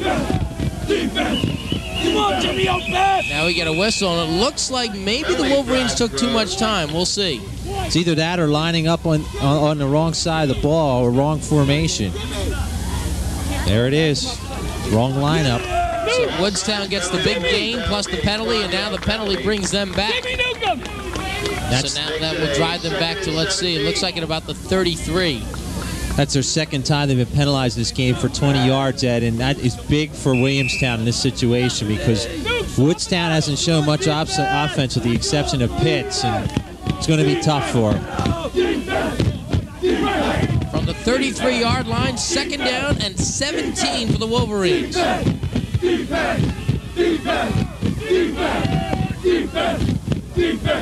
Now they tried to delay, and Williamstown reads it beautifully as Rich Williams stuffs Gilmartin in the backfield. That was just a missed blocking assignment on the right end. A great job by Williams the junior to get right back in there in the backfield. And if they get that block, and watch the right side of your screen up the top. The end just missed the block. Otherwise, they might get a big gain out of that. So suddenly third down and 23 for the Wolverines. We have 9.53 to go in the third. Williamstown without their quarterback, without their kicker, and without their defensive end, Ed Newcomb leading 13 to 6. Clark will go back to pass, fires one deep downfield, and it is incomplete. Looking for John Pitts. Triple coverage on the play by Williamstown. Maurice Jackson, the closest one there. Cooper also there. Lopez also there. I'm really surprised he threw that. As you mentioned, triple coverage there. A little bit shorter, about 10 yards down. He had a man open, but elected to go for it all. Now the punt team's in. And they go with the speed punt as they alternate some players in now. And again, they are on the Williamstown 40, but again, fourth and 23. So uh, right now, with the backup quarterback in for Williamstown, I'm sure Coach Ware will be happy to try and pin Williamstown deep in their own territory. Mars, the lone man back for the Braves. There's the punt. It's a short pooch punt. And they will let it roll, and Woodstown downs it on the one yard line. Touchback. No, they don't. It is a touchback, as you saw it. Baker. We got a great look at it right there, and it looked like Ben Pitts was going to get to it. It almost stopped, but his momentum carried him into the end zone, so Williamstown gets a break. Ben and John Pitts down there on the play, as you mentioned it. They almost got that. And again, every time Woodstown needs a break, they haven't been able to get it. They had a chance there on the big run. Watch this here, and if he just gets a hand on it and gets out of the way, they're going to get it. Right there at the last second, it just crossed the line. Oh, they are going to give it to him at the two-yard line and on the first touch. Where John Pitts missed it and Ben Pitts got it. They will mark that one at the one. So the Braves have 99 yards to go. And the referee did say it was a touchback, and I'm really surprised they're going to put it at the one now. We saw the signal for the touchback, and now it is at the one. That actually looks like the correct call. That is at the one yard line. Now Woodstown's going to have to take a timeout, Ed, and a timeout. And Co- Coach Fusatola just yelled out, "You gave the touchback signal." He saw it too, but now they're spotting it at the one. So the the Zebras going to have to talk this over. There is Coach Fusatola waving his arm right there in the middle. Amy, if you could let us see that one more time, if we can get a look at the referee. It, it, it was an obvious, again, here's the play again. Great job by Amy and everyone in the truck. And now watch the referee. The ball's touched there at the two. Now in comes number 21. Now the referee just to the right, there you see 18 Emil. Saying no because the referee's saying touchback. But I I think they did make the initial right call Ed, that he touched it at the two yard line first, and that was where the ball should be down. So initially, I think they did make the right call by keeping it here now. It does look like justice was done on this chilly night here in Williamstown. The Brave mascot and the cheerleaders into this one. A lot of uh, a lot of a festive atmosphere, as we said, and it's great to see the big crowd out here for the home opener. And this set of series here is what a season is made of. When they needed a big series against Delsea, they drove down the field and got it. This is their second big challenge of the year right here. Back in a quarterback now is John Ballerini. And they will try and get some breathing room. Pollard does not get much on the quick hitter. So John Ballerini, who came in and then was replaced by Willis Cooper. Ballerini hands off to And I get the feeling, Tad, barring uh, things going wrong, the Braves got in the locker room, gathered themselves at halftime. Coach Fusatola made his quarterback pick, and that was that. Well, we saw Cooper did a nice job, and I was very impressed with Willis Cooper, who's also a sophomore. Don't be surprised if somehow if Williamstown gets us gets some points here, you may see Cooper. I like the way he ran it. Maybe just better decisions now by Ballerini deep in his own zone. From the three-yard line, second down and eight. Fumble. Fumble on the play. Woodstown has the football. Is are they in the end zone? They are not, but they're on the one-yard line. It looked like Pitts came up with the football, and Ben Pitts recovers for the Wolverines. And you'll see where the defensive player, Ed, got right in before the ball was handed off, and that was why we had the mistake in the handoff. And boy, oh boy, as you look at it again there, we can bring it back maybe one more time, Amy, for us just a little earlier, you'll see, Ed, on the handoff, before the handoff is even made, the defensive player was right there. And now Woodstown in some serious, serious Braves real estate. From the one yard line, almost call it the half yard line. First and goal for the Wolverines.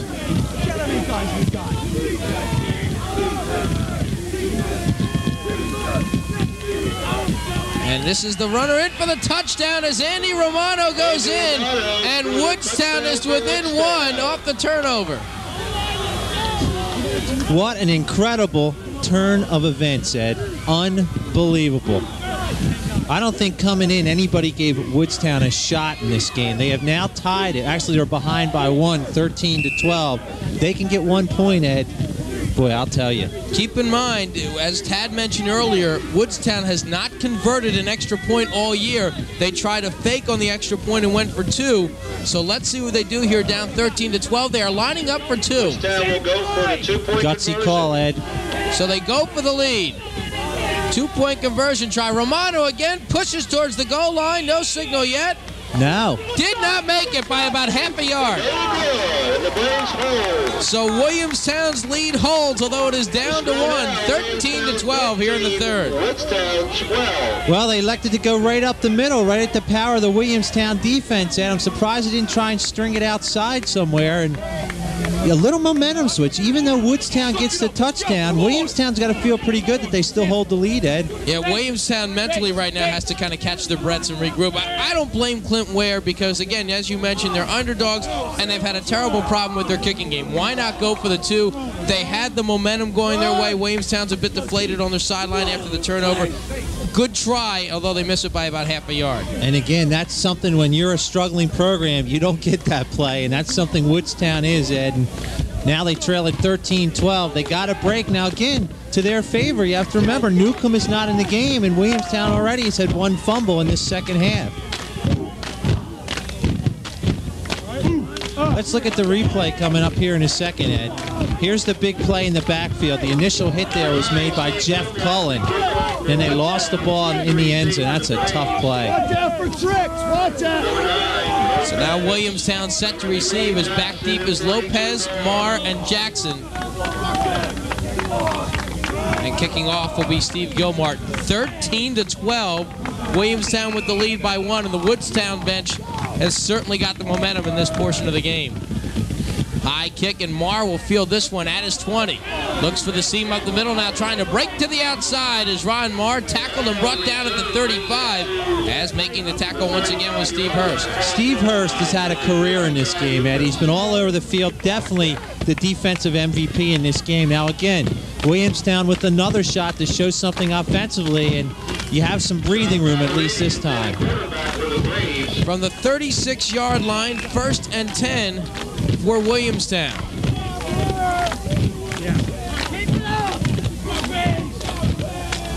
Let's see what the Braves can do now on offense. Is once again the quarterback is John Ballerini. Polar again has a hold on the right side, breaking away. Rich Polar into its down territory, tackled at the 28. Pitts finally brought him down. That's Polar's biggest gain of the day. They got great blitzing pursuit by the two inside linebackers and a great job by Williamstown to get by him. Once Polar gets by them, he's got clear sailing and a big gain of about 35. Let's look at it again on the replay. We just missed the linebackers blitzing through, and it's a foot race here. Missing on the tackle there was Hall.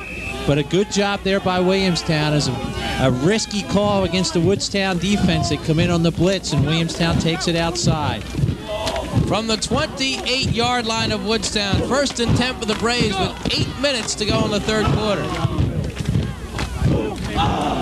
Bowler again fumbles the football. Woodstown has got it right back as Cullen recovers for the Wolverines.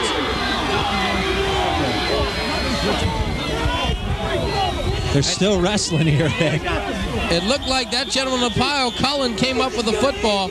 So Williamstown coughs it right back, and Woodstown now takes over, trailing by just one.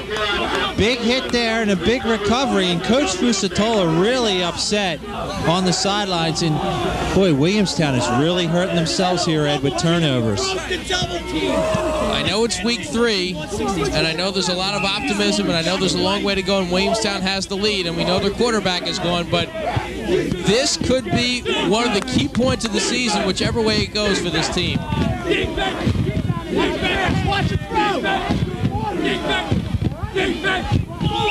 This will be a false start against the Wolverines. His jumping was Todd Ekus.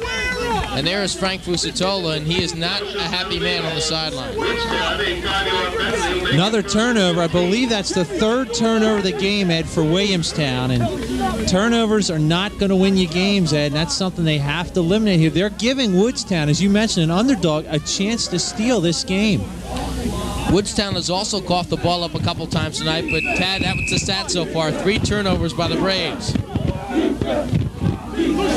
From the 23-yard line, first and 15 now for Woodstown, and a penalty, and it looks like this will be five more against the Wolverines. It's got to be lining up in the neutral zone. He's having a conversation there with Steve Hurst on the left end, and Hurst lined up in the neutral zone. And again, uh, there's a lot of that deflation right now on the Williamstown sideline, especially because they got pumped up after the big run by Polar.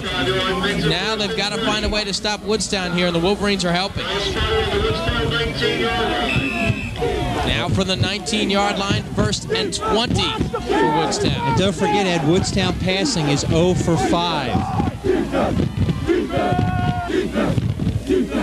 Clark with a quick header up the middle, fumble on the play. Morgan with the big hit. And Williamstown saying they recovered. Let's see. No signal yet. They got it.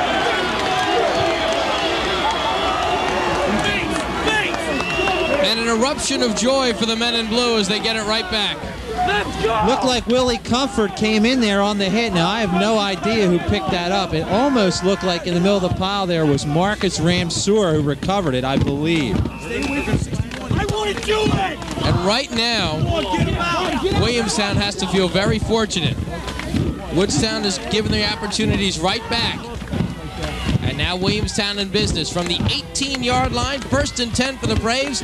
And the handoff to Polar, plowing towards that left side and engulfs his defenders, gets about six. Polar at about 200 pounds, you see him has a lot of nice size. He is just very tough for Woodstown to take down. Tad, I have not seen Nick Lopez carry the football as much so far in this game. That could partially be because of injury.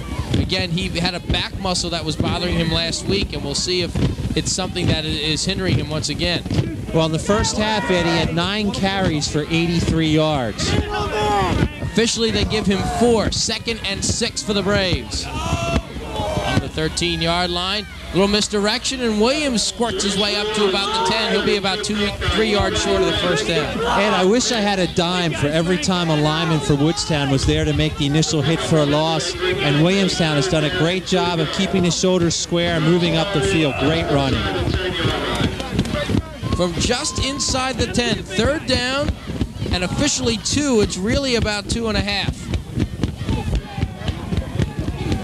Probably two down territory, too, without the kicker. Jackson now in the backfield with Polar. Nick Lopez also in there. And it's Polar.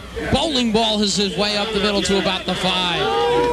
Power running, Eddie does a great job in that power situation. Picks up three. Very close. Now they do give him the first down. From just outside the five, it'll be first and goal for the Braves. Clock down to 6.17 to go in the third quarter. Williamstown 13, Woodstown 12. Williamstown quarterback Ed Newcomb out of this football game due to injury. From the six-yard line, first and 10 for Williamstown. This time it's Nick Lopez towards the end zone and in for the touchdown.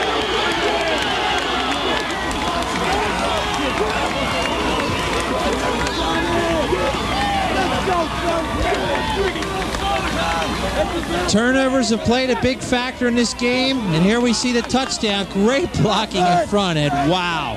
What a job by Lopez. He goes in the end zone. That's his third touchdown of the year, now the Braves have some breathing room.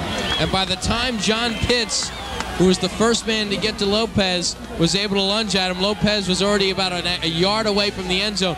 Now with the kicker out, let's see. Williamstown might go for two with the score 19 to 12. And they will go for two. Going for two this year, Ed. They are one for two. They have tried to pass it both times. Ballerini this time will hand it off. Lopez is hit and knocked down, so they don't get the two, but they do have the 19 to 12 lead. We will take a break here at Williamstown. We'll be back with more. Back here in Monroe Township for the kickoff after the Williamstown touchdown. There's our story 19 to 12, Braves. And there's the kickoff for Williamstown.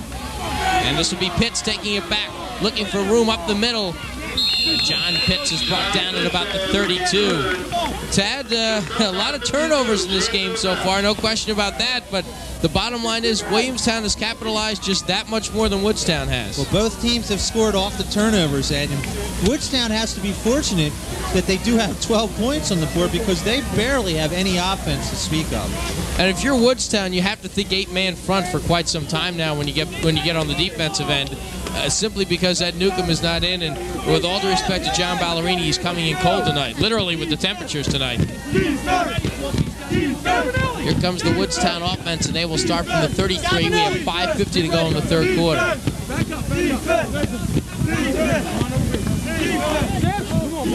Look to get things set as J.R. Clark will step in. He has Jeff Cullen lined up as his fullback.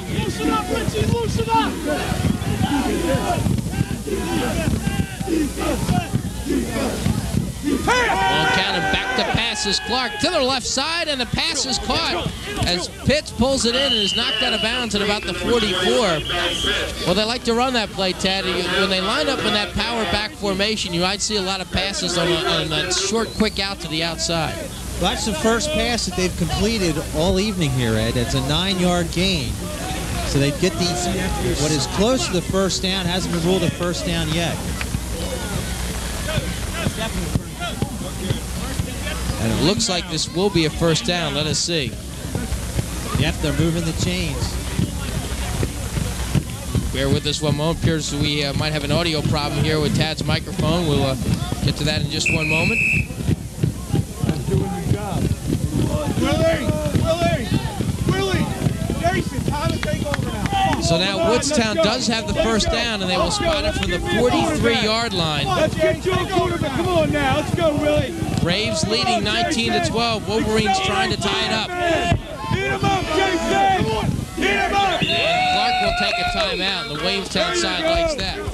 And unofficially, Ed, I believe that's their second timeout that they've taken here. So they're only going to have one remaining as they try and get back in this game. And while we have a moment, we'd like to tell you about another one of our great sponsors here on Jones Intercable Channel 13, our good friends at Gloucester County Federal Savings Bank. They are your community-based lender offering friendly personal service. They are your bank.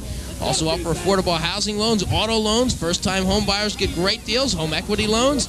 Also lo- local and mutual funds. They've been in the business for over 90 years They've been in since 1903. Stop in and see Bob Aarons and everybody at the great locations at Gloucester County Federal Savings. Again, they have locations in Washington Township, Monroe Township, Pitman, and Glassboro. That is Gloucester County Federal Savings. Let's not forget our good friends. Let's point out we should not forget our good friends at Life Care Medical Center, located on 601 North Main Street in Glassboro, New Jersey.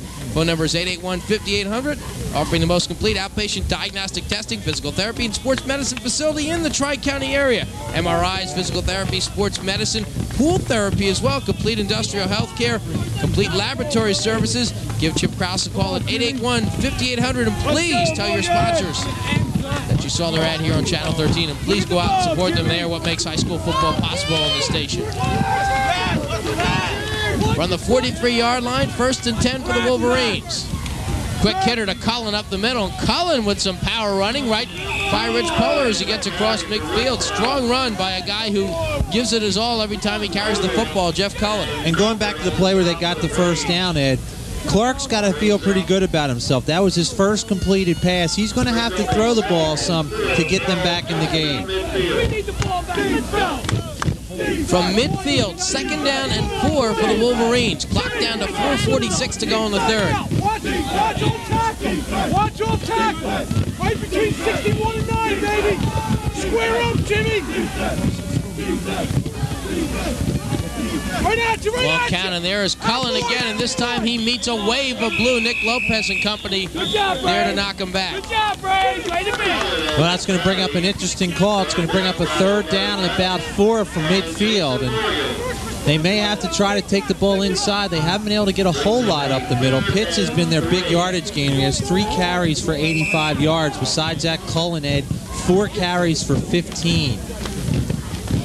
And we heard a whoa sound, that coming from the Woodstown coaches box. As he, and he will be set to take the punt if indeed Woodstown is punting here. You almost have to play for the field position, Ed. Now, now they're lining up, and now it looks like they're going to go. Let's see. It's either that or a quick pooch punt. Let's see. He's no, going. they're going to run. It's Hurst, and he's stopped.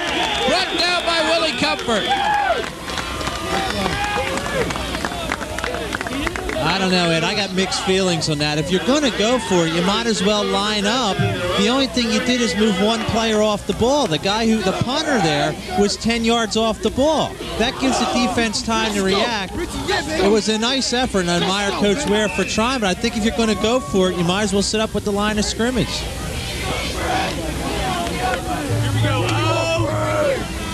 And there was a 10-man front. And now Williamstown takes over on offense. First and 10 from the 48, and going outside with lots of room is Lopez. Nick Lopez down to about the 40-yard line. And ladies and gentlemen, we've been informed we'd like to apologize. Apparently we had some audio, or rather video difficulties, excuse me, and uh, those have been corrected. And so now we have uh, sights and sound here at Williamstown. That's probably why our wide receiver couldn't hold the ball. He couldn't see it. It was he was in black screen. He couldn't catch it. And again, Lopez on that run with plenty of room in front of him has the first down. So here come the Braves from just inside the 40-yard line, leading 19 to 12 here in the third.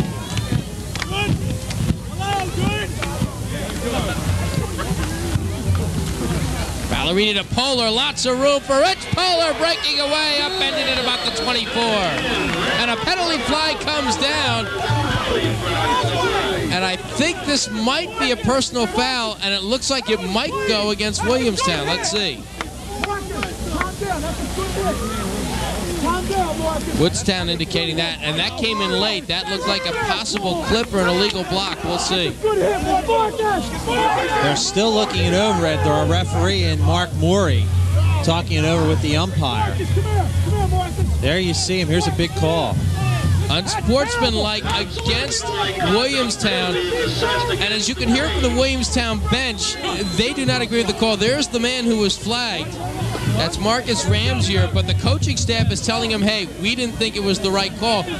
Whether it is or it isn't, that's for you to judge at home, but a good job of the coaching staff to get their player down. Well, as you look back at the actual play, though, Ed, Woodstown gambled and blitzed again up the middle, and Williamstown was able to get by it with some good trap blocking up the middle. Woodstown has attempted to blitz on a run three times, been unsuccessful all three times.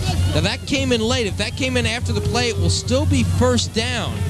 But instead of first and 10, it'll be about first and 23 or 24 as they get it lined up. It looks like they'll mark it from the spot of the foul. First down at about an eight Kings limousine length from the first down marker. With a penalty, they'll bring up a first down and 20. Then we'll call it now officially. It, they say first down and 20, but that looks a little bit more like first down and 23 or 24 for Williamstown. Lopez has some room, looking to break outside. Good tackle made on Lopez as Pat Ray is able to knock him down. And you can see Woodstown is getting great pressure over the center. They are almost in the quarterback's face on every handoff. As soon as Williamstown gets that handoff in, they get right around the pressure. But they got to watch it in that center position. Good pursuit up the middle. And they'll spot it just outside the 34, and they have to get to just around the 13, so we'll call it second down and 21 for Williamstown. Braves leading 19 to 12 late in the third. Whoops. This will cost Woodstown five. Is jumping off side of the middle. It looked to be possibly Pat Ray. We'll see. At. Boy, turnovers and now penalties starting to play a big factor in this game. Check that. That's Omar Hall who jumped off side of the middle. So lots of turnovers in this one. Lots of penalties. Right now, Williamstown holding that seven-point lead. We'll spot it now at the 29, so call it second and about 16 for the Braves. Back up. Back up. Back up. Back up. Braves trying to get something going here. Another score here, despite all the problems that both sides have, could really be the backbreaker for Woodstown. We'll see. Get outside, get outside. Polar with a quick hitter up the middle, plowing his way down into Woodstown territory to about the 22. That's a big run there by Polar because now it makes it about a third and nine, which is a makeable play. A third down and about Wait, another tackle made by Steve Hurst. They're going to spot it at the 22, so call it third down and nine for the Braves. They lead 19 to 12 as this third quarter winds down. And again, in case you're just joining in, Ed Newcomb, the quarterback for Williamstown, went down with an arm injury. No word yet as to what it could be.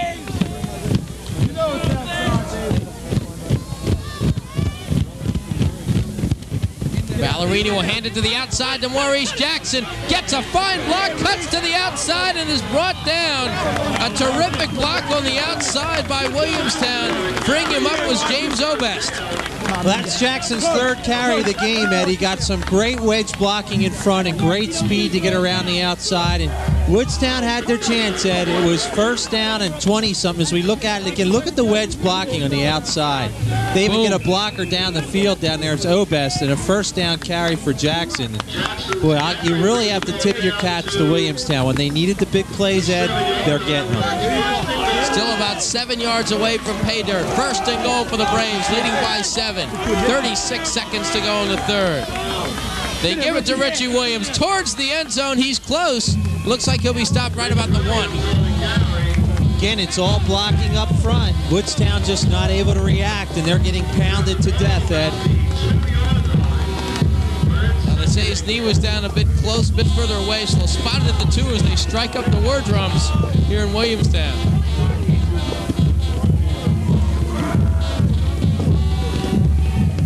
Third quarter is going to wind down probably before this play gets off.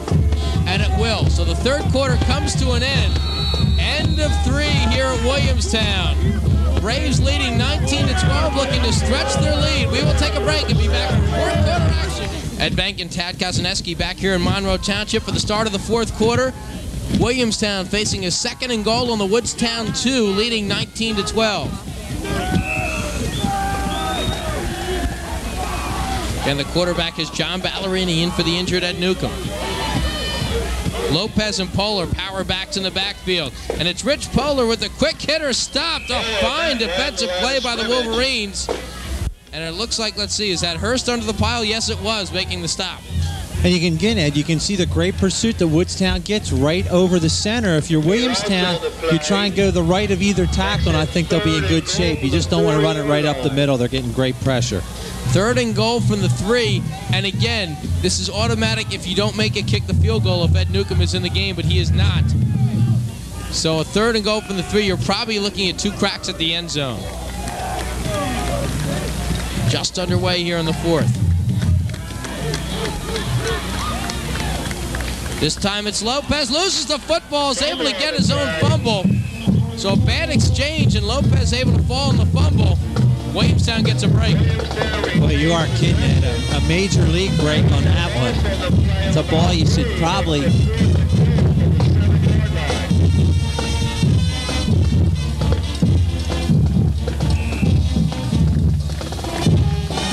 spotted at the six-yard line.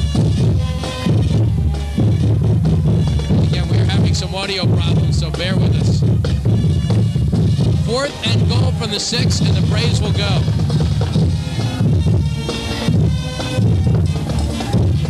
And they'll look to go to the outside to Maurice Jackson, trying to cut outside, loses the football. Williamstown falls on it, but it doesn't matter. And Woodstown comes up with a huge stop early in the fourth. Jeff Cullen did a great job leaving the charge, and that's what Woodstown had to do, Ed, to get themselves in the game. And that's really the first time that Williamstown needed a big play and didn't get it. And the Wolverines have life.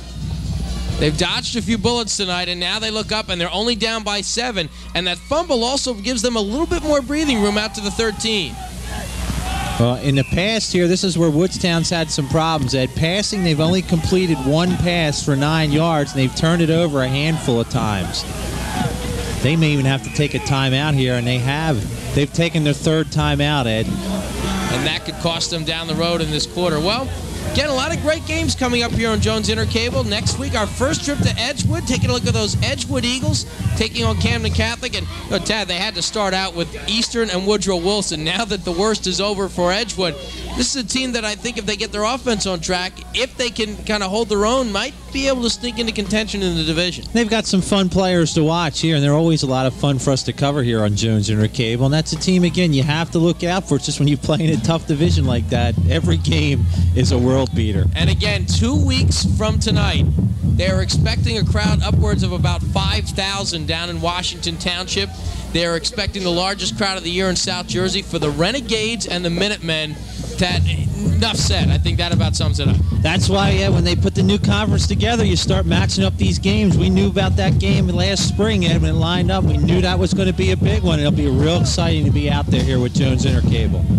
And a big one here for Williamstown with first and 10 for the Wolverines. Spotted on the 13 yard line. Clark will go back to pass. Under a bit of pressure, incomplete, but a penalty flag comes down as Tim Newcomb interfered that time with Ben Pitts.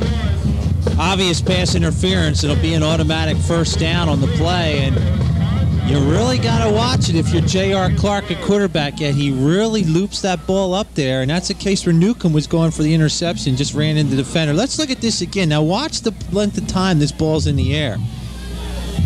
I mean, that's that's a ball Newcomb's going after, and after three yards up the field, that's no big deal. But again, with high school football, they will move it 15 yards up, and that'll be an automatic first down. That'll bring us up to about the 28 and a half yard line. And you saw a good look on the second replay, uh, clearly pass interference. So first down for the Wolverines, and they'll move it up to the 28 yard line. 10 20 to go in regulation, as we have said since last year. Oh boy. 10 20 to go in regulation with the score 19 to 12. Oh boy.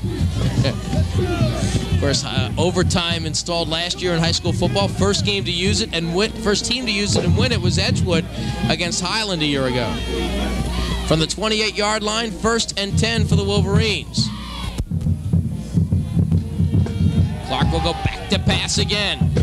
Nobody open after having some time to look. Now flips to the outside. Oh. Incomplete. Nice play by Ron Marr to break up the pass intended for Ben Pitts. It's a nice job by Pitts to come back for the ball, but that's a ball that Clark has to eat. Either has to throw it away or just keep with the ball because there was double coverage on the far side on Pitts. And again, Ed, Clark very lucky that pass wasn't intercepted.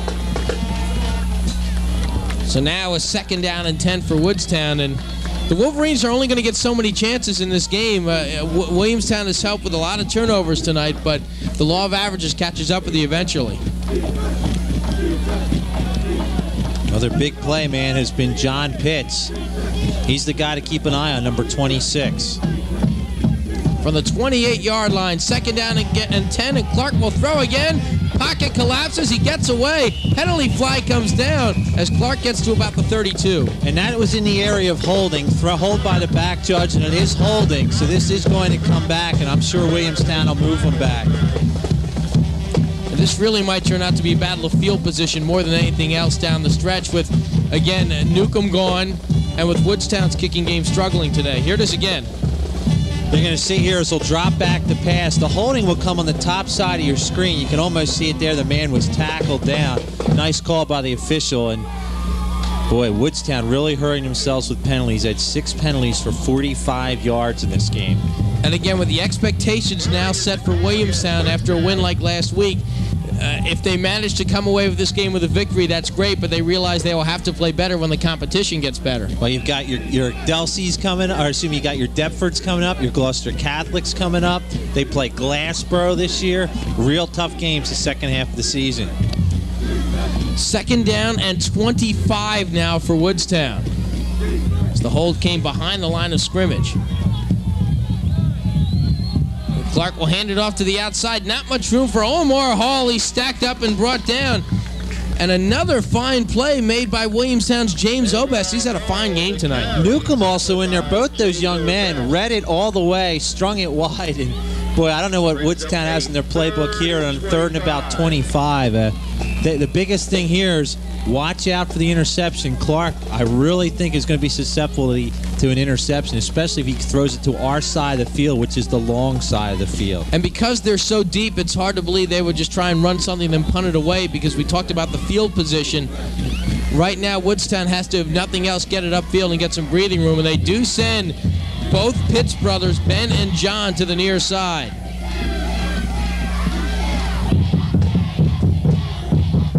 Clark instead will pitch it to the outside, and Andy Romano dances through one man, excuse me, Cullen through another, still on his feet. Gets away from another tackler. Cullen with a fine effort, but he'll come up about 10 short as Willis Cooper finally brought him down. Cullen on about a 20 yard gain on that, Ed, and that saves the punter some breathing room. And again, with this field position battle and time ticking away, 8.30 to play, that's a big play for Woodstown. So the Wolverines will punt. Here it is again. And if you're Williamstown, Ed, you got to be kicking yourself here because you had a chance to really pin them down. That's just a great individual effort by Cullen, who is a senior. Well, we talked about the L word all before the game, Tad, Yeah, the, the right. letdown, and it's happened. You are absolutely right. And let's give Woodstown a little bit of credit. They have been spectacular, but they've capitalized on some Williamstown mistakes. Now the Braves drop back, and that Wow. one is almost blocked, and a fine kick, and it's fielded by Marr on the line drive. Marr dances up to about the 42 where Williamstown takes over. Woodstown coming off a blowout against Delsea and then a blowout against Pennsville.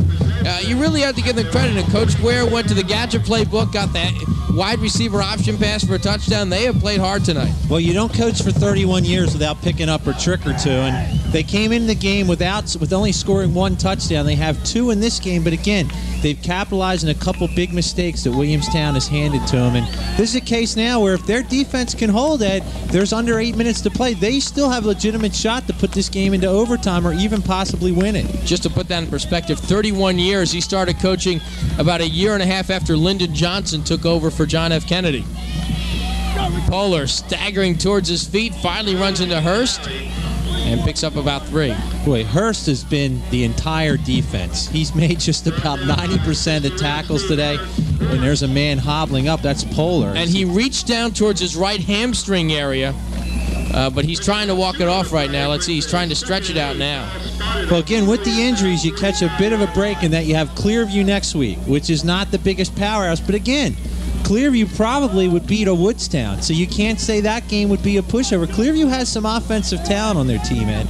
Right now, Woodstown looking like they can play with a lot of teams tonight. Richie Williams' turn, and he gets up to midfield before being hit by Hurst. Who else? And brought down emphatically. Man, oh man, Mr. Hurst, a great job, and credit the front line blocking of Williamstown. Clear a big hole. It wasn't for Hurst, that probably goes for a first down. Here comes a big third down and about three from midfield. They will spot it right there. You see it. And here's the replay again. Take a look at it from ground level. You get a great shot of Hurst, number 61, stands him up and plants him down. Hurst has been very impressive in this game. No secret what Williamstown will probably do here. Random Marty, or Ballerini, excuse me, has not put one up yet.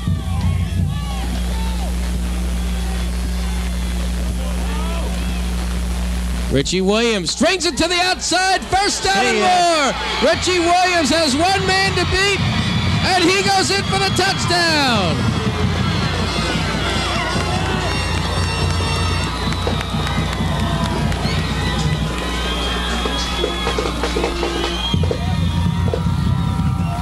That could be the backbreaker with 6.14 to go.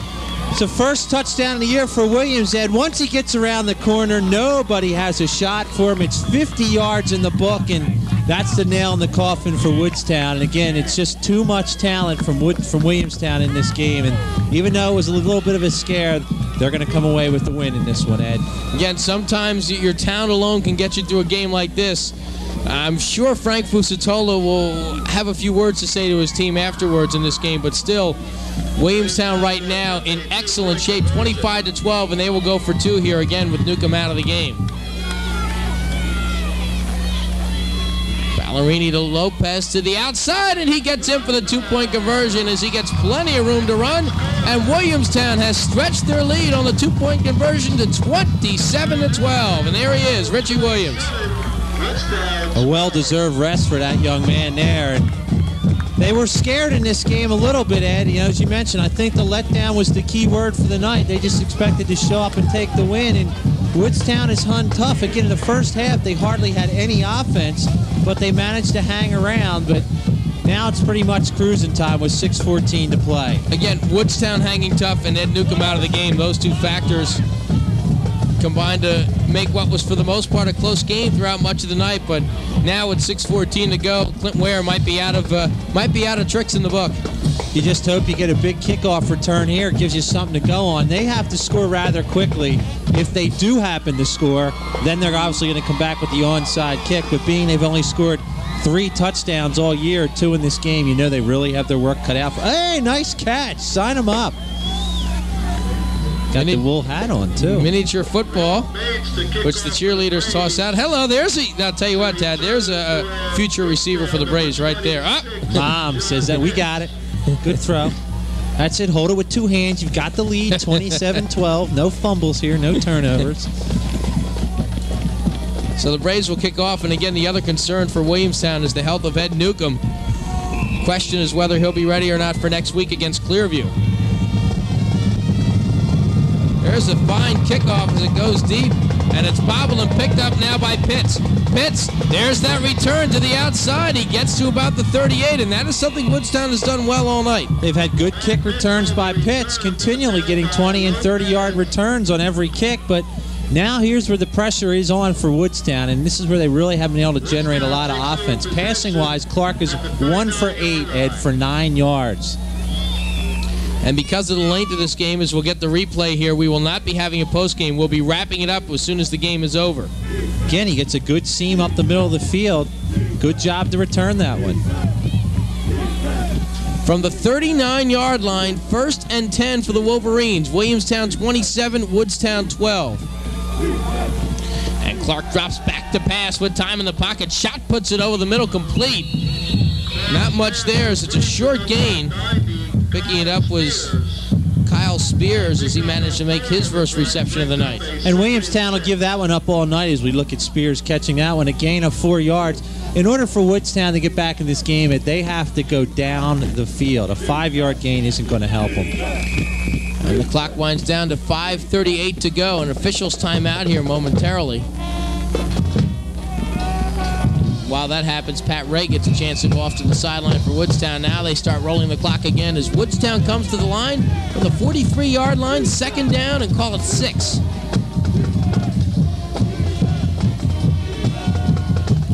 Clark back to pass again. This time the pocket collapses, gets outside, incomplete as he was looking for Pitts.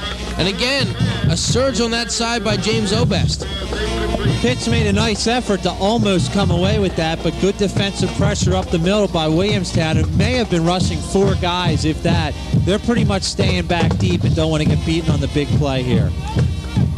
Third down and six. 5.18 to go in the fourth quarter. And I know there's only 5:18 to go, but this could be fourth down territory here. Four down territory. You, you have to, Ed. With 5:18 to play, you have to keep going. You have to move the ball.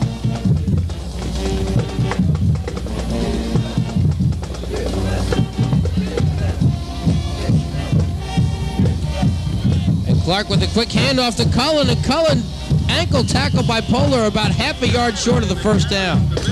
If they're smart, they'll ask for a measurement here. See if they can get it to stop the clock and regroup. It's it's probably close enough to measure. They may actually even have it now on the mark. The referee will stop the clock, Ed. I think they they will have it, but you're probably gonna have to bring the chains on to measure it. Well, Coach Ware is smart, and so he will call for the measurement. And uh, it looks like he's uh, now. They're now the referees have called a, a timeout, and they will measure it. But it looks like he's going to be about a yard. Actually, now with the spots It's close, Ed. It, it all depends close. on that spot. I mean, it's if they didn't get it, they're within an inch or two. It's it's that close. Clock stopped at exactly five minutes to go in the fourth quarter. It has been, uh, quite, quite frankly, an ugly night on the field as far as penalties, fumbles, and of course the injury. Here comes your measurement, Ed. Wait, it's it's just a little bit short. About four inches short. This is where Woodstown should have called the play in the huddle. They're going to come out right away and go right after it. You got to look at it right there, and they will go for it on fourth down. And they might just run the football here, try and pick up the first down, and line up while they move the chains. Fourth and about a half a yard for Woodstown. Clock should be running. And there we go. The official did signal it now. The clock was waiting for the official signal. Thought he had signaled before, but now the clock runs.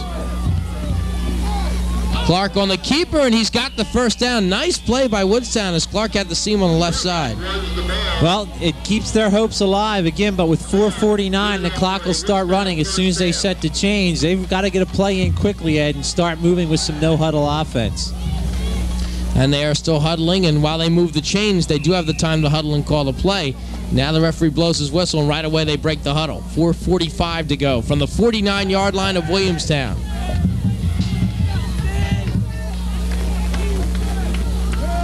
To pass again is Clark. Guns went over the middle, incomplete. They roll an incompletion to Spears.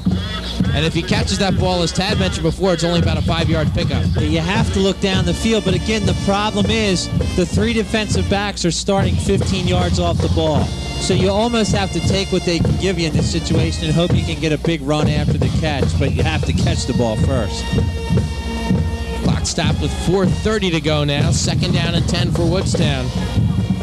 Wolverines have been able to keep this close and have had a gutty effort tonight after two humbling losses, but their backs are against the wall now.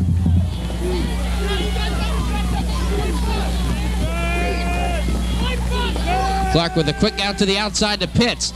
Pitts trying to string it to the outside, tackled by Tim Newcomb. So John Pitts picks up about six, and that'll be a third down. Not a bad call on the far side. You have 101 coverage on the far side. Trying to break some there. It's a good call. And again, when the game ends, we will keep it right here and wrap it up for what has been a, face it, a long football game due to the penalties and some of the turnovers. And now with Woodstown having the incompletions. And for the most part, Ed Clark has done a decent job at getting there. He's had about four or five drops. Overall, he's three for 12 now for 19 yards, but about three or four more of them should have been caught. Third down and four from the 43 yard line of Williamstown. And Clark to the outside again. Here's the wide receiver option, but nobody there. It looked like John Pitts zigged when he should have zagged because he cut in and the pass went out. Pitts was doing an out, and the receiver threw a post pattern. And again, Williamstown read it all the way. The defensive backs were back there. A good effort again by Coach Ware, but the defense was there. Well, this will be it for Woodstown if they can't convert. Fourth down and four. 3.38 to go in the fourth. And if they are unsuccessful, Williamstown will be able to get the football and, barring a turnover with another first down or two, can run the clock out.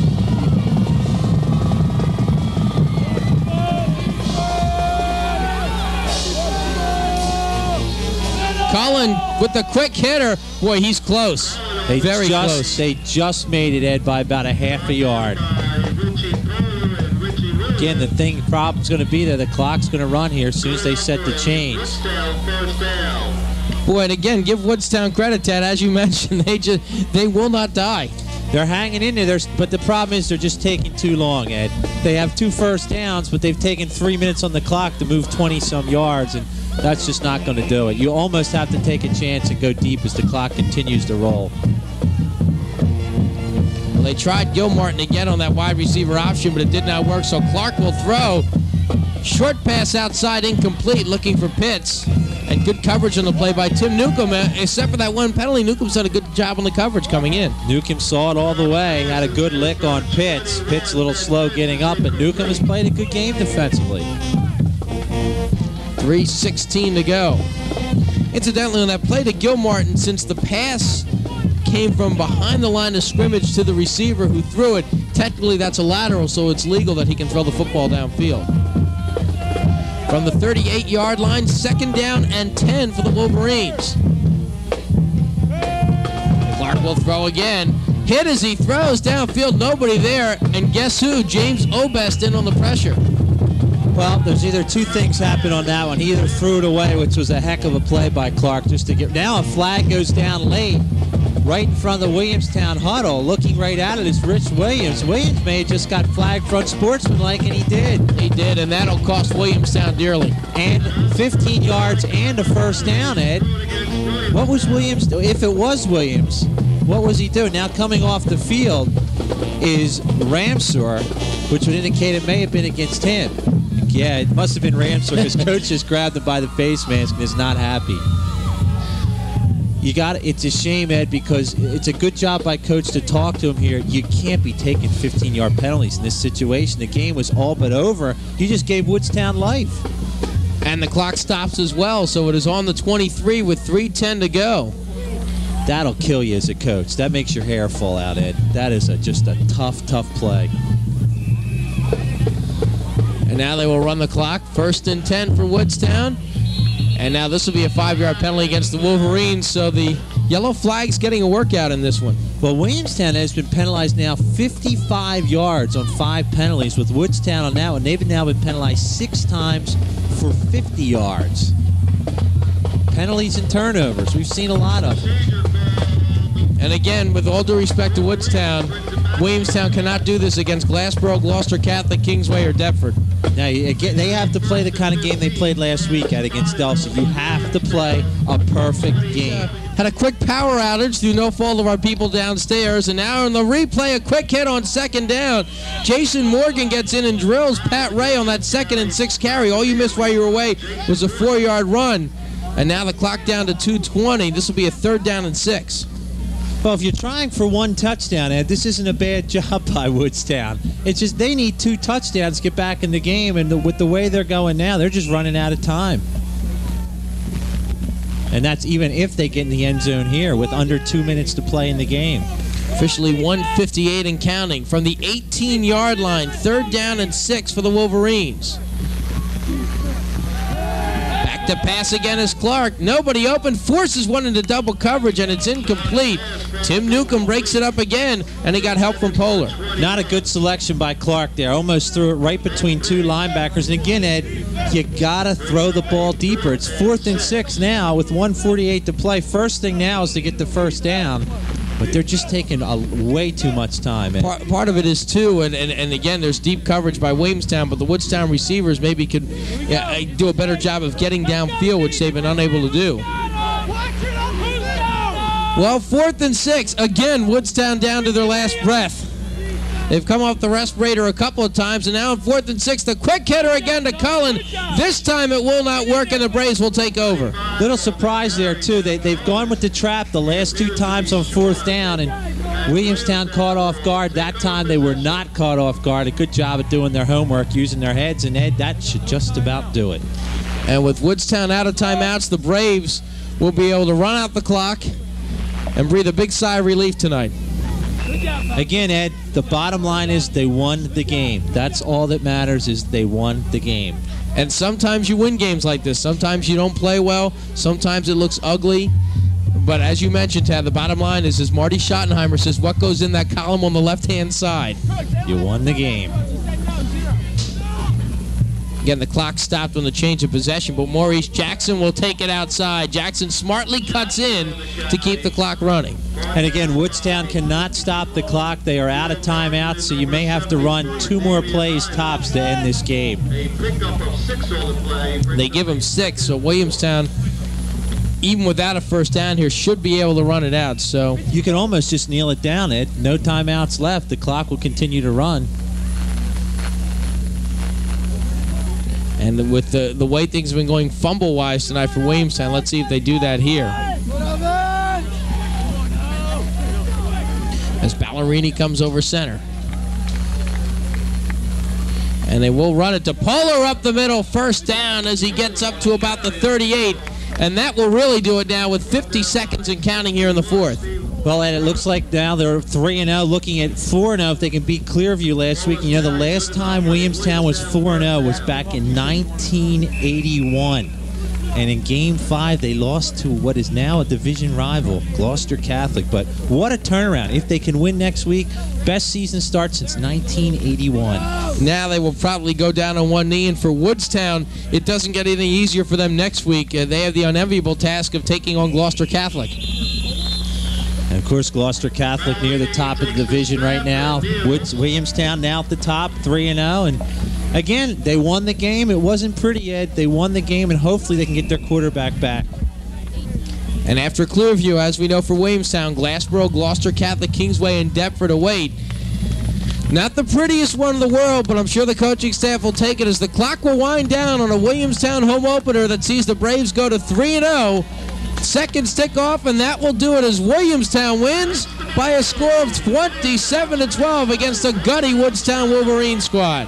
And it wasn't as dramatic as last weekend, but again, they won the game. They were expected to win. They got the win. Now you look on to Clearview. Everybody and enjoy your weekend. So we will take a quick break, a quick break, and when we come back, we will have a wrap up right after this.